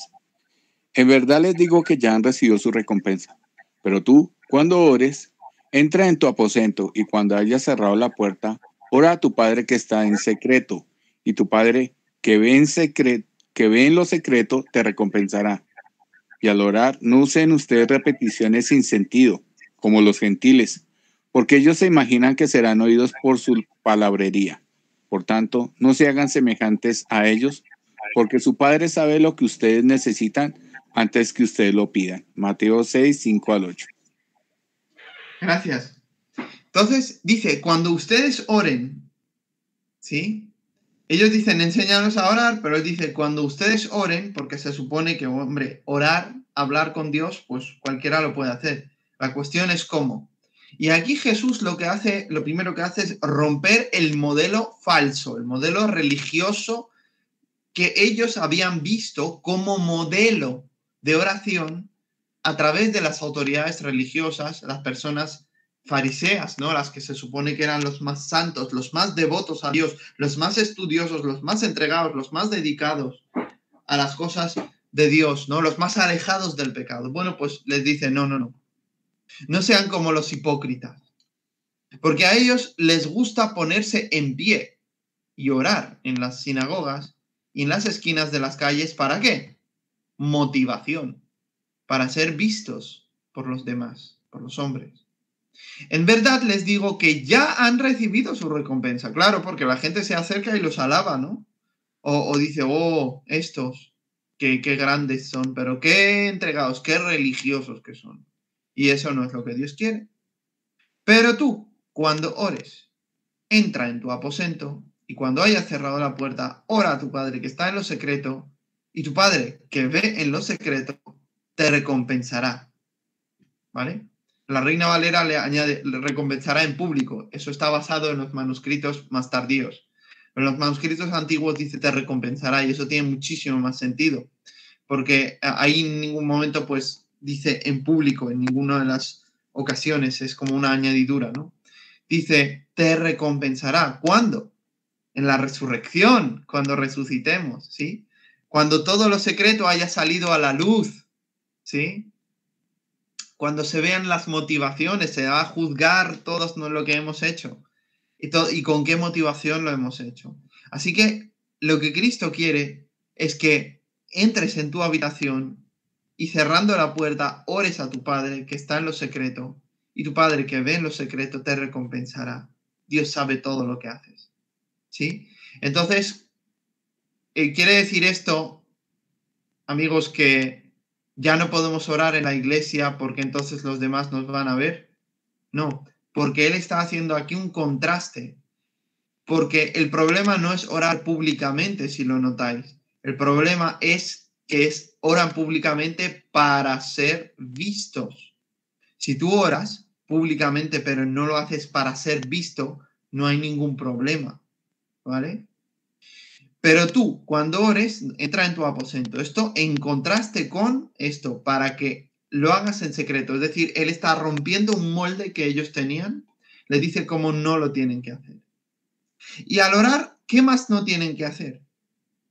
No usen repeticiones sin sentido, como los gentiles. Aquí confronta a los religiosos judíos y aquí confronta a los religiosos gentiles, ¿sí? Los paganos. Dice, no hagáis repeticiones sin sentido, porque ellos se imaginan, ¿no? son paganos, tienen muchos dioses, ellos se imaginan que serán oídos por su palabrería, por repetir muchas veces o a lo mejor en una forma concreta, ¿no? Pues creen que de esa forma, por gritar más, serán más oídos. ¿Os acordáis en el Antiguo Testamento cuando estaban los sacerdotes de Baal gritando y cortándose ahí las, las venas y haciéndose sangre en sus brazos para que Baal los escuche y gritando y gritando y, Elías ahí se reía, ¿no? Diciendo que, ¿qué pasa? Que se ha dormido, ¿no? Está dormido, está de vacaciones, ¿no? Eh, eh, es, gracioso, ¿verdad? Entonces, pero esa es la técnica religiosa de, venga, vamos a orar, vamos a gritar, vamos a eh, hacer, pensando que por esto, motivación, ¿no? Motivación, por esto serán más oídos. Ahora, otra cosa es que tú ores y repitas, no pasa nada. Jesús también oró tres veces. Padre, Si es posible, pase de mí esta copa, pero no se haga mi voluntad, sino la tuya. Lo oró tres veces, no pasa nada. El problema es que tú pienses que serás más oído por decir más palabras, ¿vale? Por tanto, no se hagan semejantes a ellos, porque su Padre sabe lo que ustedes necesitan antes que ustedes lo pidan. La oración es un momento de conversación con Dios, con tu Padre, como hablarías con tu Padre. Pregunto, ¿puedes decirle tres veces lo mismo a tu padre? Sí. ¿Y cuántas veces los niños piden las cosas a sus padres? Pero ahora, hay momentos que los niños pueden pedir cosas, ¿verdad? Que, que no, que no te lo voy a dar. Que no, que mamá, que sí, que no sé qué. Que no, que no, que no. Que por tu palabrería y por decir más palabras y por insistir más, no te voy a escuchar yo por eso. También hay que aclarar esto. Pero a Dios le agrada escucharte y si quieres repetirle algo, repíteselo, no pasa nada, ¿vale? Pero Jesús aquí enseña cómo los modelos falsos, los equivocados, cómo no se debe orar. Ahora en contraste vamos a ver cómo sí nos enseñó a orar el Señor y Salvador. Que alguien lea la famosa oración, la oración más famosa del mundo. Ustedes, pues, oren de esta manera. Padre nuestro que estás en los cielos, santificado sea tu nombre. Venga tu reino, hágase tu voluntad, así en la tierra como en el cielo. Danos hoy el pan nuestro de cada día y perdónanos nuestras deudas como también nosotros hemos perdonado a nuestros deudores. Y no nos dejes caer en tentación, sino líbranos sino líbranos del mal, porque tuyo es el reino y el poder y la gloria para siempre. Amén. Porque si ustedes perdonan a los hombres sus transgresiones, también su Padre Celestial les perdonará a ustedes. Los hombres tampoco su Padre les perdonará a ustedes sus transgresiones. Mateo 6, 9 y 13. Gracias. Entonces Jesús enseña cómo sí hay que orar. ¿Y cómo sí hay que orar? Bueno, en primer lugar, debemos, enseñar, ¿no? En esta oración modelo, ¿no? Dirigirnos a Dios. Porque Él está en los cielos, ¿sí? Es un reconocimiento de la posición de Dios por encima de toda nuestra vida del mundo, de lo que en él pasa, de nuestras circunstancias, ¿sí? Pasajeras. Él es el que está en los cielos. Ahora, este Padre que está en los cielos, la oración se centra en él. Santificado sea tu nombre. ¿Os acordáis de la, eh, de la eh, trascendencia de Dios, no? Que Dios sea reconocido como el que es trascendente que, Dios sea reconocido como el único, diferente, apartado, separado, ¿sí? Que sea reconocido en el segundo sentido de la moralidad, sea reconocido como el que es puro, el que no puede nada tener que ver con el pecado, el que aborrece el pecado, el que no puede mirarlo y tiene que dar antropomórficamente hablando su espalda al pecado para no verlo.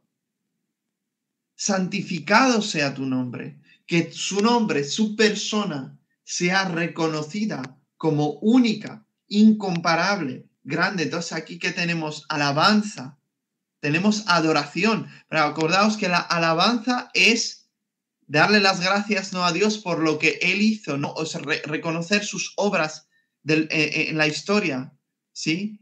Sus hechos pero la adoración es reconocer quién Él es, ¿sí? Entonces, primero le decimos, Padre nuestro que estás en los cielos, reconocemos quién Él es.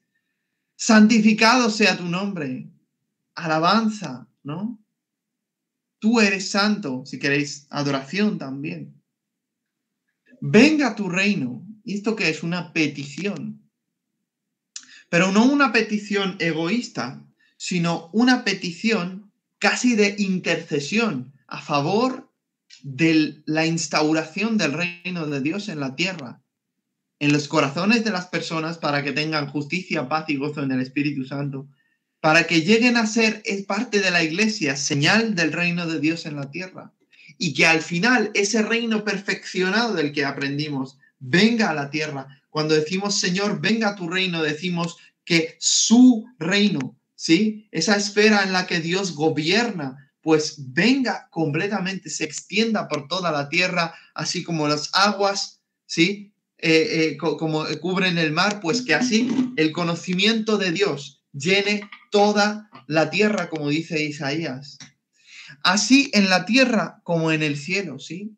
Que su voluntad, ¿sí? Entonces sea hecha no solo en la tierra, perdón, no solo en el cielo, sino en la tierra que eh, ¿qué pasará en el reino de Dios? En el reino de Dios habrá una correspondencia entre lo que sucede en la voluntad de Dios y lo que sucede en la tierra. No va a haber, vamos a decir, una discontinuidad llamada voluntad permisiva, donde Dios permite que sucedan cosas, permite que suceda el mal, pero no es exactamente su ideal. Su ideal es que no haya mal, que no haya muerte, que no haya clamor, que no haya dolor.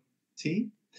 Entonces, oramos para que ese reino al final venga y en medio, en este valle de lágrimas, como alguien dice, ¿no? En, medio de esta tierra, que también esté viniendo su reino a la tierra, en la tierra como en el cielo. Entonces, aquí tenemos un reconocimiento de Dios, aquí tenemos una oración casi de intercesión a favor del mundo y a favor del, reino de Dios en la tierra, de que sus, propósitos se cumplan. Y ahora tenemos una petición personal o petición personal colectiva, ¿no? Danos hoy el pan nuestro de cada día.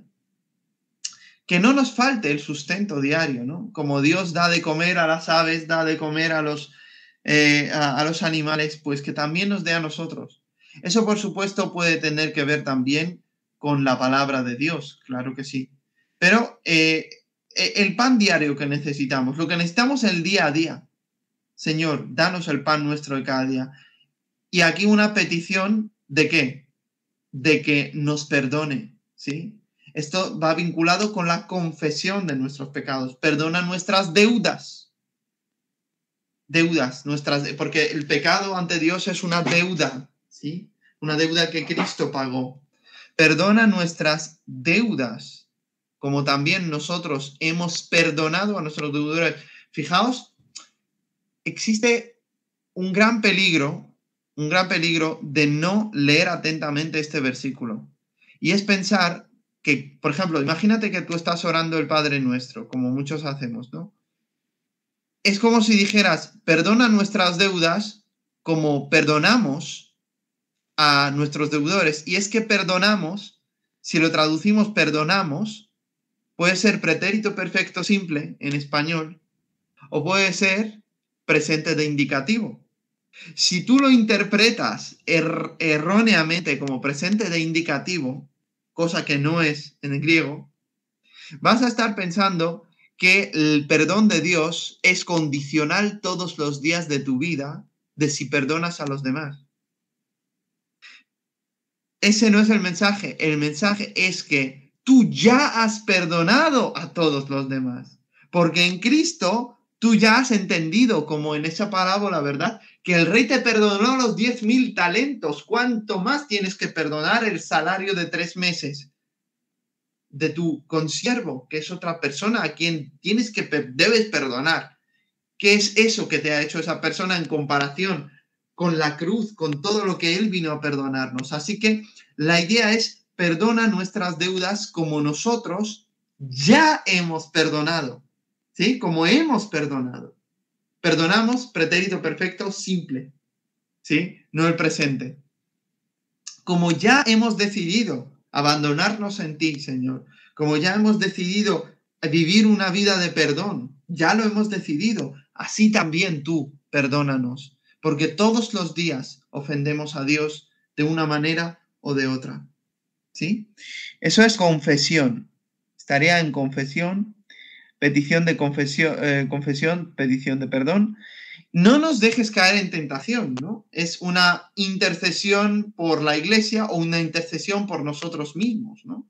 No nos dejes caer en tentación, mas líbranos del mal, líbranos del mal. El mal puede ser traducido también del maligno, porque la misma palabra poneros en griego puede significar, puede traducirse, mejor dicho, de manera personal y de manera impersonal, ¿no? Como el maligno o como el mal, líbranos del mal. Porque tuyo, vale, aquí tenemos una doxología, una doxología, doxa, gloria, es un reconocimiento de la gloria de Dios, ¿sí?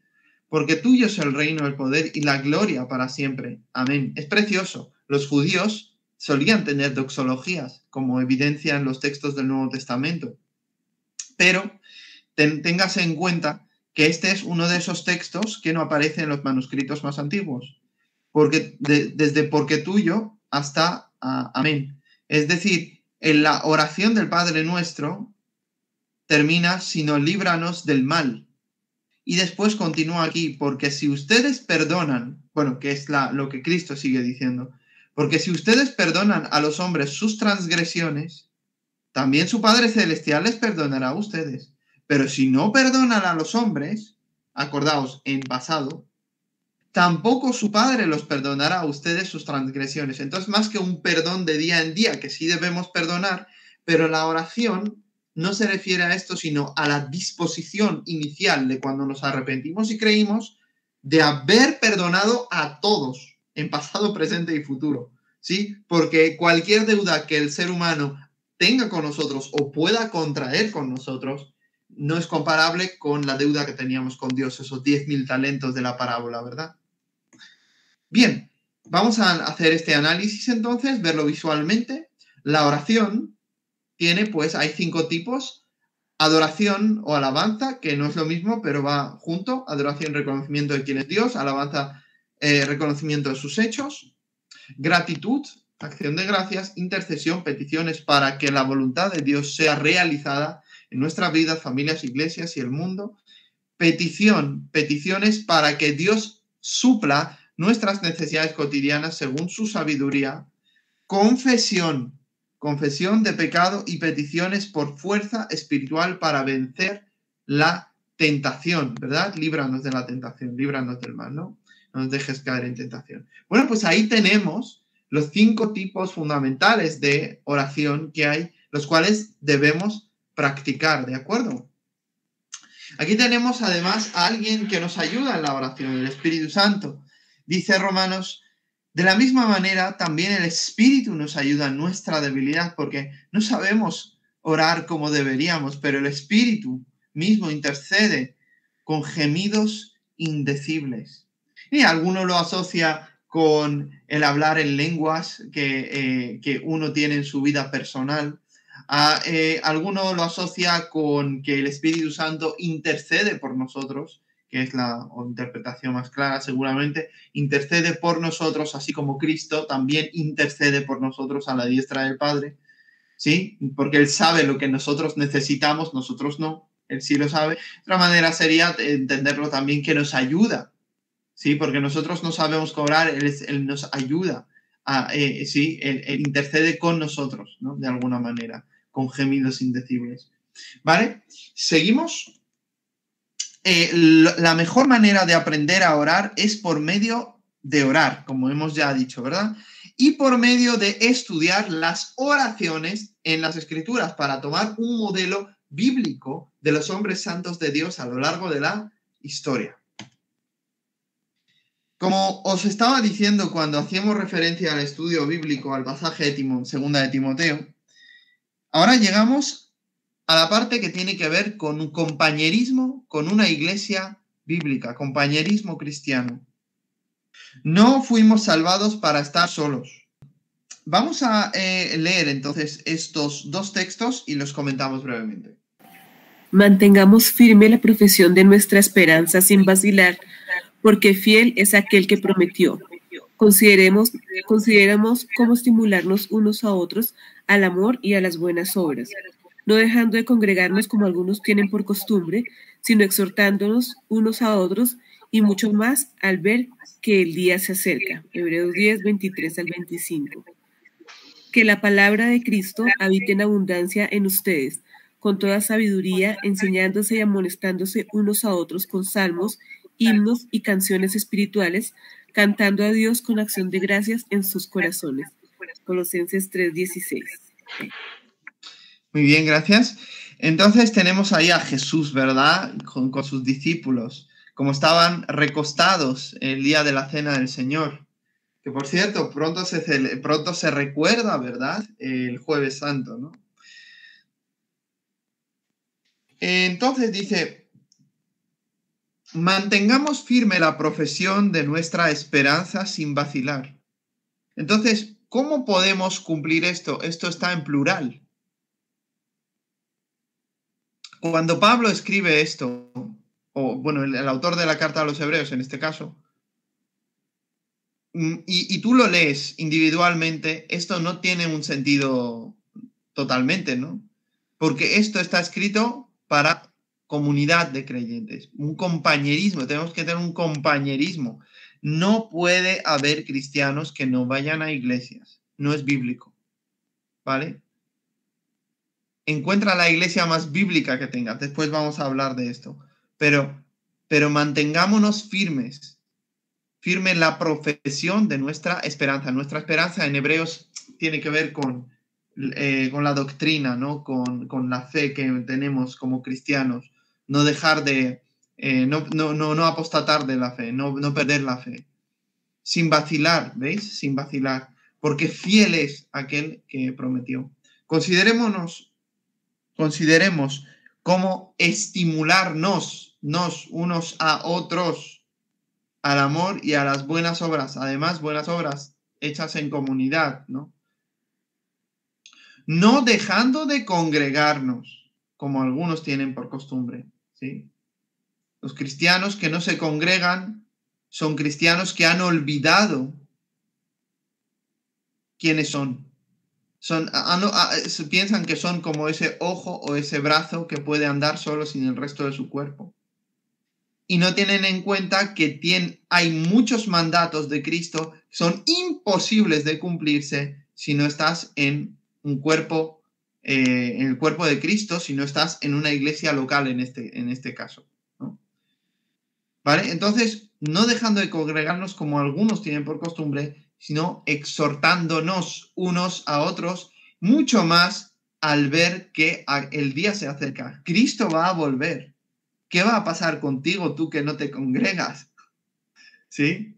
Ahora, ¿es la congregación suficiente? para atender compañerismo bíblico? No, la congregación no. Hay gente que se congrega y que se va. Y hay gente no salva que se congrega. ¿Vale? Entonces hay trigo y cizaña. Cuidado.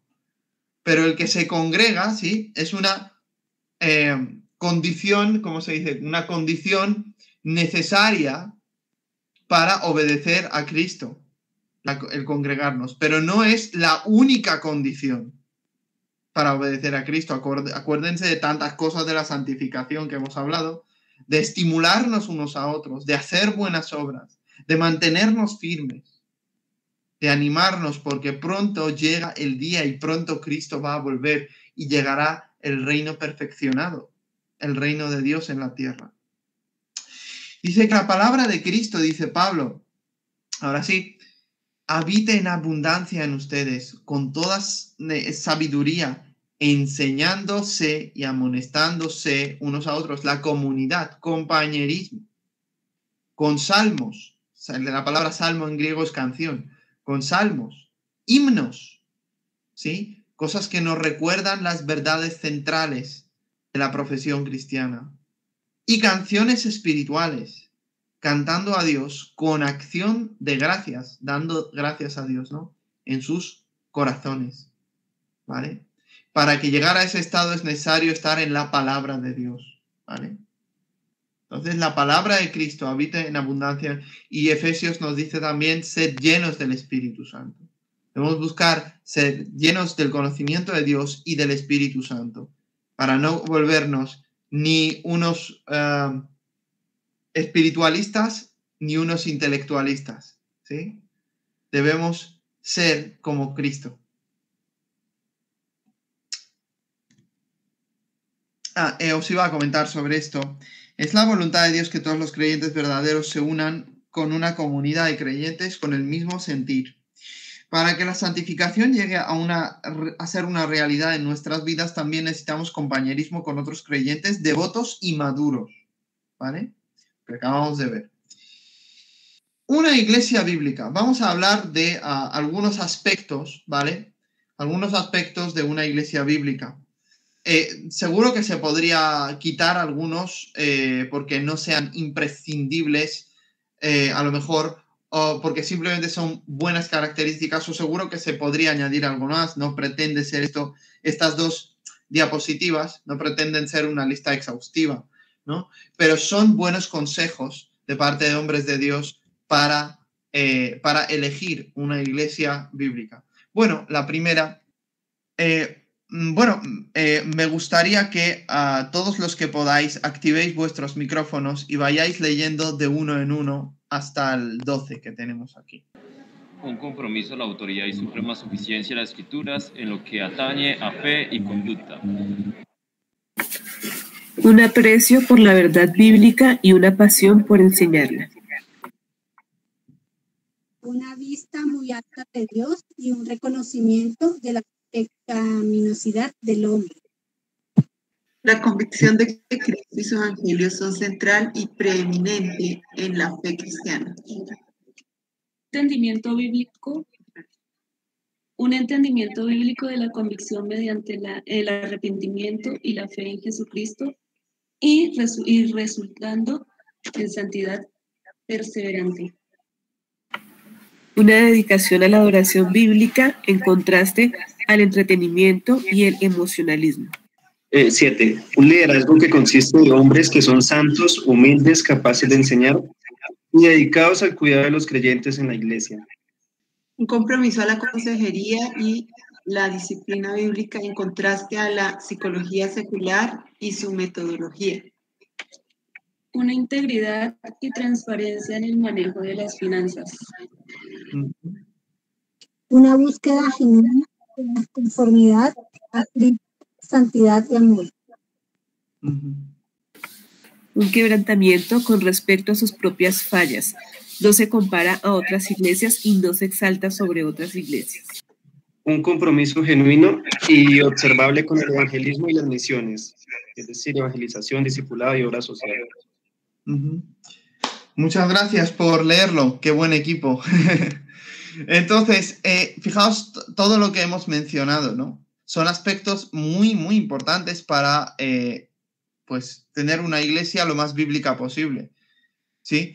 Eh, o si alguno de vosotros llegará el día de mañana a ser mm, pastor, copastor, anciano, pues podría implementar mm, al máximo estas verdades ¿no? en la vida de la iglesia. Entonces, repetimos compromiso de autoridad suprema, es decir, que la Biblia sea la autoridad suprema y suficiente para la fe y la conducta. lo que decide, al final de la historia, lo que decide la enseñanza cristiana del Evangelio, de la Biblia, qué es lo que Dios nos enseña, cómo debemos vivir, que sea basado en la Biblia. Un aprecio por la verdad bíblica y una pasión por enseñarla. ¿Sí? Hemos, hablado acerca de ello. Eh, esto tiene que ser real, ¿no? Uno no tiene que estar apasionado aquí en, emocionalismos y en cosas y en movimientos y en saltos con, cosas que suceden. Pero en lugar de, enfatizar esto, debemos enfatizar la palabra de Cristo, la palabra de Dios.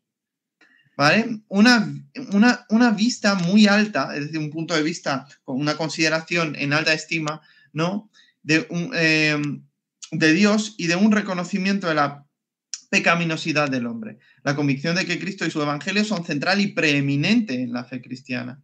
¿Eso qué quiere decir?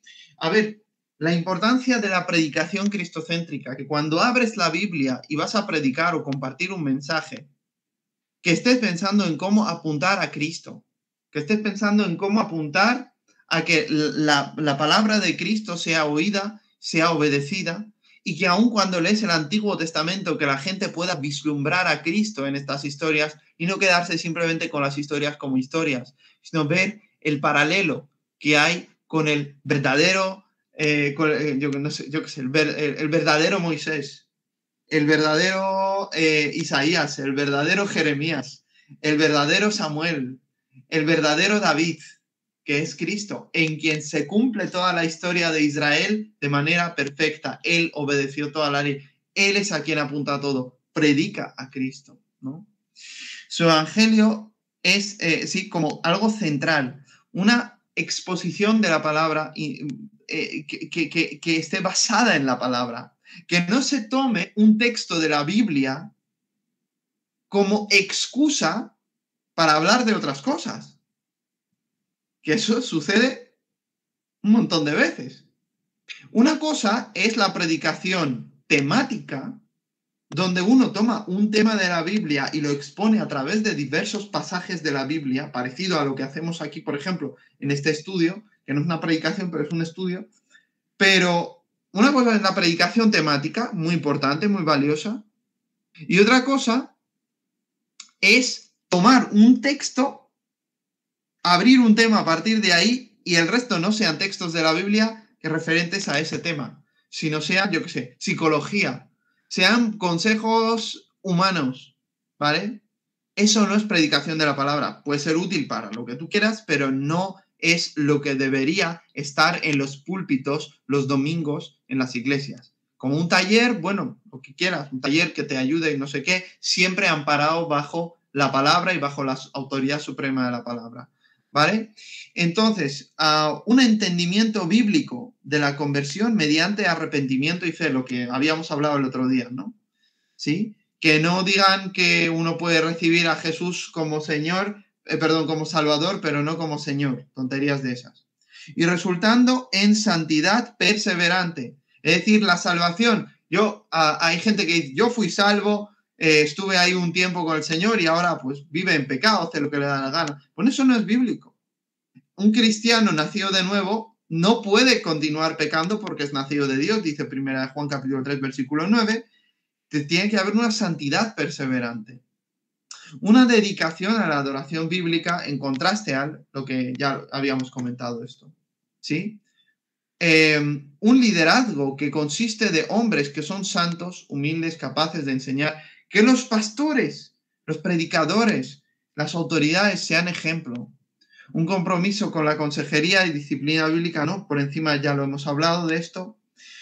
Una eh, integridad y transparencia en el manejo de las finanzas, importantísimo en nuestros días como, ¿sí? Con toda la teología de la prosperidad, con tanto afán que tienen algunos pastores y algunas gentes en enriquecerse, que si el diezmo por aquí, que si el diezmo por allá.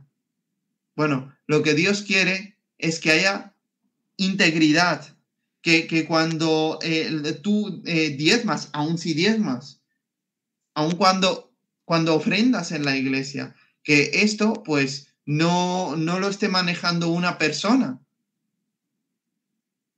Básicamente os puedo poner un ejemplo muy cercano de una persona que llegó a anular el consejo de la iglesia eh, para eh, hacer lo que él quiere. Y entre otras cosas, eh, pues de alguna manera se había autoaumentado el salario porque el tesorero solamente llegó a servir como tesorero, pero no, pero a su servicio, porque él le dictaba lo que tenía que darle. Eso no puede ser. Amigos, esto no puede ser. Tiene que haber una integridad y transparencia en el manejo de las finanzas. Eh, todavía mejor, ¿no? Cuando se dice qué necesidad hay en la iglesia, cuánto es necesario cubrir, cuánto se ha recaudado, que los miembros de la iglesia, que son miembros legales oficiales de la iglesia, puedan tener una reunión al menos anual donde se dedica a las entradas que ha habido, ¿sí? Con transparencia, que, que ha entrado en cada momento, ¿sí? Que se expliquen estas cosas para que no haya abusos. Y es muy importante que haya un consejo, que no haya una sola persona gobernándolo todo. Hay que huir de esos sitios donde uno lo maneja todo. Cuidado, cuidado, cuidado. Una búsqueda genuina de la conformidad a Cristo, que lo que se busque es ser parecidos a Cristo. ¿sí? Que cuando la iglesia hace algo mal, que se avergüence y no que se compare con otras iglesias y se exalte, nosotros somos la mejor iglesia, venid aquí, ¿no? Eh, o, o, que en nuestra iglesia vais a recibir esto, ¿no? Hay una secta por ahí que se llama ah, Familia Unida, la Iglesia Universal del Reino de Dios, que ah, aunque hay cosas buenas que suceden ahí, desde luego que Cristo sana a la gente y todo eso, pero cuando veis sus programas siempre dicen, ah, pero cuando llegué a la iglesia del reino de Dios, a la iglesia, es allí cuando sucedió el cambio. ¿Qué manera es esa manipulativa de contar un testimonio? Por favor. No es cuando yo llegué y llega el siguiente que cuenta su testimonio y dice, cuando yo llegué a la iglesia, bueno, pero ¿qué es esto? ¿Qué es esto? ¿Marketing o qué? Tú llegas a Cristo el que te cambia la vida y no a la iglesia llámese como se llame. Finalmente, un compromiso genuino y observable con el evangelismo y las misiones. Una iglesia que no evangeliza, pues está condenada a quedarse como está y a que crezcan las generaciones y, eh, y esa iglesia acabará desapareciendo. Si no hay evangelismo, si no hay misiones, que Jesús dijo, y de hacer discípulos a todas las naciones. Evangelización, discipulado, discipular a los creyentes, discipular a los propios creyentes, a otros creyentes, discipular a los nuevos creyentes y discipular a la gente para que sean creyentes, enseñarles el Evangelio.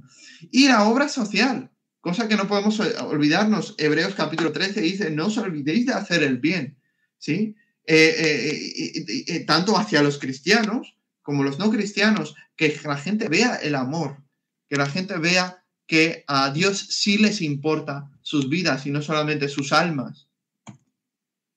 Os he querido colocar aquí, poneros aquí la base doctrinal de la Alianza Evangélica Española, que me parece un buen modelo, ¿vale? Un buen modelo de lo que debería ser ah, una base doctrinal, una declaración de fe de la iglesia en la que tú estés, ¿vale?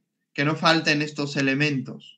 En la predicación, en las, en, los, en las doctrinas fundamentales que afirma una iglesia. Una iglesia que no afirma estas cosas que tenéis aquí no es una iglesia evangélica. No es una iglesia evangélica. Eh, será lo que quieran, pero una iglesia evangélica no es porque para ser evangélico es necesario afirmar estas doctrinas fundamentales. No hablo de las doctrinas esenciales para la salvación, sino de las fundamentales para tener una doctrina bíblica adecuada, correcta, eh, evangélica. Entonces dice, os lo leo, ¿vale? En tanto que cristianos evangélicos aceptamos la revelación del Dios único en tres personas, Padre, Hijo y Espíritu Santo, en las escrituras del Antiguo y del Nuevo Testamento y confesamos la fe histórica del Evangelio que se proclama en sus páginas. Afirmamos por consiguiente las doctrinas que consideramos decisivas para comprender la fe y que deben expresarse en amor, en el servicio cristiano práctico y en la proclamación del Evangelio. Veamos, ¿cuáles son estas? La soberanía y la gracia de Dios el Padre, Dios el Hijo y Dios el Espíritu Santo en la creación, la providencia, la revelación, la redención y el juicio final. No tenemos tiempo para comentar estos detalles, pero para que lo veáis. La divina inspiración de la Sagrada Escritura, su credibilidad plena y suprema autoridad en todo lo que atañe a la fe y a la conducta. También la pecaminosidad universal y la culpabilidad del hombre caído que acarrea la ira de Dios y la condenación. También el sacrificio vicario, sustitutorio, donde Cristo nos sustituye. Sacrificio vicario del Hijo de, de Dios encarnado, único fundamento suficiente de redención de la culpabilidad y del poder del pecado, así como de sus consecuencias.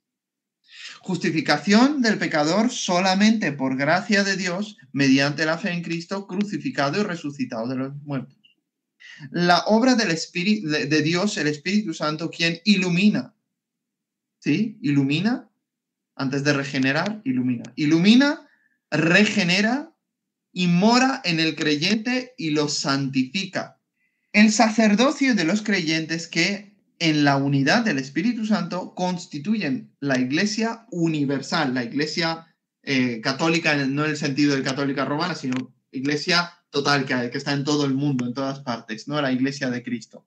El cuerpo cuya cabeza es Cristo, comprometidos por el mandamiento de su Señor a la proclamación del Evangelio en todo el mundo, ¿veis? Y al servicio de amor en el seno de la sociedad, lo que os acabo de decir. Misiones, evangelismo y obra social también, hacia cristianos y no cristianos. La esperanza del retorno visible de nuestro Señor Jesucristo en poder y gloria la resurrección de los muertos y la consumación del reino de Dios, ¿sí? Lo que llamamos el reino perfeccionado. Ahí lo tenéis, ¿vale? Para tenerlo de referencia. Vale, eh, vamos a, eh, ahora ya estamos eh, terminando nuestro estudio y vamos a dar pronto ya lugar a las preguntas. Bueno, primera Pedro 2.9, ¿qué dice? ¿Alguien nos lo lee, por favor?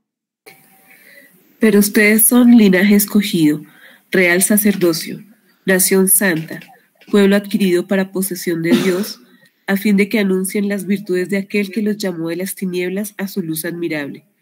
Ustedes en otro tiempo no eran pueblo, pero ahora son el pueblo de Dios. No habían recibido misericordia, pero ahora han recibido misericordia. Primera de Pedro 2.9. Entonces, las escrituras enseñan que, que, enseñan que cada creyente es parte del sacerdocio real. Antes el sacerdocio pertenecía a la orden de, uh, sacerdocio levítico, donde pues la descendencia de Aarón podían ministrar en el templo de Jehová, en el templo de Dios. Pero en el Nuevo Testamento no hay tal cosa como un sacerdote. Por eso a nuestros pastores, obispos, ancianos, no los llamamos sacerdotes, ¿no? No hay tal cosa como un sacerdote mediador aparte de Jesucristo, sumo sacerdote, según el orden no de Leví, sino de Melquisedec. Y nosotros bajo Cristo, todos nosotros, toda la iglesia, todo el conjunto de creyentes en Cristo Jesús, somos linaje escogido, real sacerdocio, sacerdocio del rey. Una nación santa como Israel, ¿no? Pero santa, santificada por la sangre de Jesús. Pueblo adquirido para posesión de Dios a fin de que anunciemos, ¿sí? Anunciemos las virtudes de aquel que nos llamó de las tinieblas a su luz admirable, que en otro tiempo ni éramos pueblo ni nada, ¿no? Pero ahora somos el pueblo de Dios. No, había, no habíamos recibido misericordia, pero ahora hemos recibido misericordia. Por lo tanto, como sacerdotes de Dios, que todos somos, tenemos una... un trabajo de representar a Dios hacia nuestro prójimo y hacia nuestros hermanos. Somos real sacerdocio, de cuidarnos, de ayudarnos, de ministrarnos los unos a los otros, porque somos participantes del Espíritu Santo, somos santificados por el Señor. Ah, Seguimos. Servicio en la iglesia local, más, entonces aquí hemos hablado de esto, seguimos con el mismo tema. Eh, ¿Quién nos lo lee, por favor? ¿Quién nos puede leer el siguiente? Como un cuerpo, pues así como en un cuerpo tenemos muchos miembros, pero no todos los miembros tienen la misma función, así también nosotros, que somos muchos, somos un cuerpo en Cristo e individualmente miembros los unos de los otros. Pero teniendo diferentes dones, según la gracia que nos ha sido dada, usemos. Si el de profecía, úsese en, proporción a la fe, si el de servicio en servir, o el que enseña en la enseñanza, el que exhorta en la exhortación, el que da con liberalidad, el que dirige con diligencia, el que muestra misericordia con alegría. Romanos 12, 4 al 8. Muy bien, ¿qué aprendemos de este texto? A cada creyente le han sido dados dones espirituales, capacidades, ¿no? Habilidades que deben ser usadas para la edificación de la iglesia local. Lo vemos en Romanos 12, en 1 Corintios 12. No solamente debemos congregarnos en una iglesia bíblica, sino también debemos vivir en la iglesia según nuestras habilidades, perdón, vivir, servir en la iglesia según nuestras habilidades. El ministerio en la iglesia no se confina o no, no termina con los pastores o ancianos, ¿verdad? Ni los maestros, ni nada de eso, sino los pastores tienen la tarea de equipar, capacitar, equipar a todos los creyentes para la obra del ministerio. para que todos podamos servir al mundo y servirnos los unos a los otros para la gloria de Dios. Ahora, una comunidad de amor, la iglesia, una comunidad de amor y que da amor. Vamos a, vamos a ver el siguiente ah, texto de Gálatas y el otro de Hebreos. Adelante.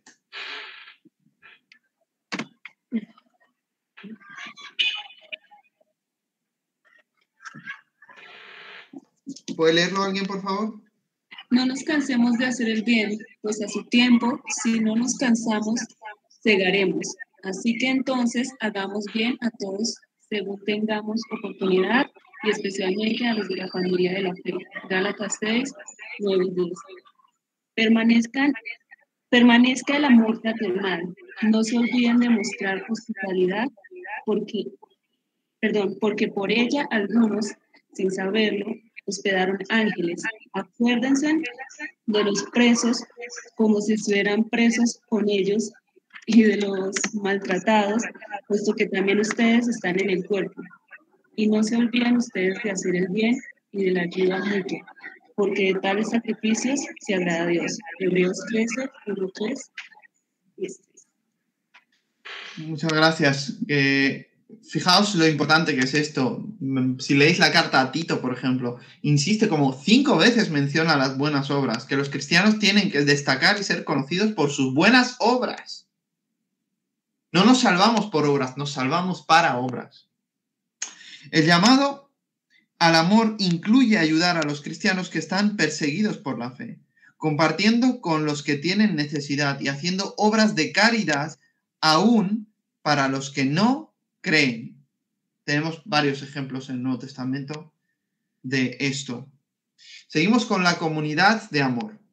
Eh, os leo Santiago 1.27. Dice la religión o piedad. La palabra religión también se puede traducir como piedad devoción. La religión pura y sin mancha delante de nuestro Dios y Padre es esta. ¿Cuál es la religión? ¿Cómo tiene que ser vivida la religión cristiana o la vida cristiana, en otras palabras? Visitar a los huérfanos y a las viudas en sus aflicciones y guardarse sin mancha del mundo, ¿sí?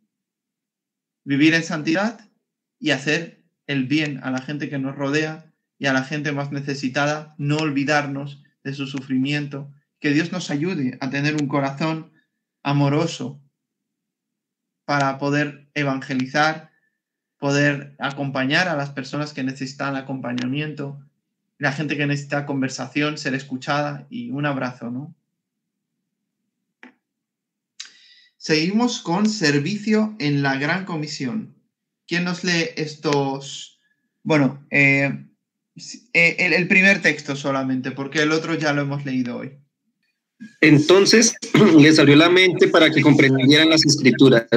Les dijo, así está escrito, que Cristo padecerá y resucitará entre los muertos al, tercer día, y que en su nombre se predicará el arrepentimiento para el perdón de los pecados a todas las naciones, comenzando desde Jerusalén. Lucas 24, 45, Entonces, por el texto que hemos leído hoy ya de abajo del de Mateo, y de hacer discípulos a todas las naciones, bautizar, sí, predicar, bautizar, enseñar, eh, y que Él está con nosotros. A, la idea de discipular eh, a, todas las naciones, eh, hacer discípulos de todas las naciones, súmale que ese discipulado y esa proclamación del Evangelio no puede ir separada de qué? De la proclamación del querigma, ¿no? De lo que Cristo, Cristo padeció, resucitó de entre los muertos al tercer día y que todo el que confía en esto eh, ha de arrepentirse. ¿Para qué? Para el perdón de los pecados en todas las naciones, comenzando desde Jerusalén, ¿no? Entonces, se nos manda predicar el arrepentimiento, se nos manda hacer discípulos, bautizar, enseñar. Y en Hechos 1.8, además, se nos manda ser testigos de Jesucristo. Leemos, pero recibiréis poder eh, cuando, el Espíritu Santo venga sobre ustedes y serán mis testigos en Jerusalén, en toda Judea y Samaria y hasta los confines de la tierra. Hechos 1.8. Así que todos los que hemos recibido el Espíritu Santo Todos los que hemos nacido de nuevo y hemos sido transformados, tenemos una misión, la gran comisión. Y la gran comisión se trata de que una vez que tenemos el poder del Espíritu Santo en nosotros, en su poder, en su autoridad y en su fuerza, proclamemos el Evangelio y hagamos discípulos proclamando el arrepentimiento en todas las naciones, siendo testigos de Cristo. Los discípulos, los doce apóstoles, son testigos directos de Cristo, porque lo han visto resucitado con sus propios ojos y son los elegidos para escribir la palabra de Dios y dejarnos la enseñanza evangélica. Pero nosotros somos testigos indirectos, porque aparte de haber creído en el testimonio de los testigos, es que además nosotros mismos somos testigos de la obra de Cristo que Él hizo en nosotros la obra de que así como estábamos muertos en nuestros delitos y pecados, Él nos ha resucitado. Somos testigos del poder de la resurrección de Cristo, la misma, el mismo poder que obró para resucitarlo históricamente de la muerte. ¿Cómo sabemos que el cristianismo es verdad? Una de estas muchas cosas, ¿no? Pues porque este mismo, el, el mensaje cristiano, el Evangelio promete nacer de nuevo al que se arrepiente y cree, y eso es lo que hemos experimentado todos los que hemos creído somos testigos de Cristo, testigos indirectos, pero testigos de Cristo, con nuestro testimonio, con la proclamación del Evangelio hasta el final del mundo.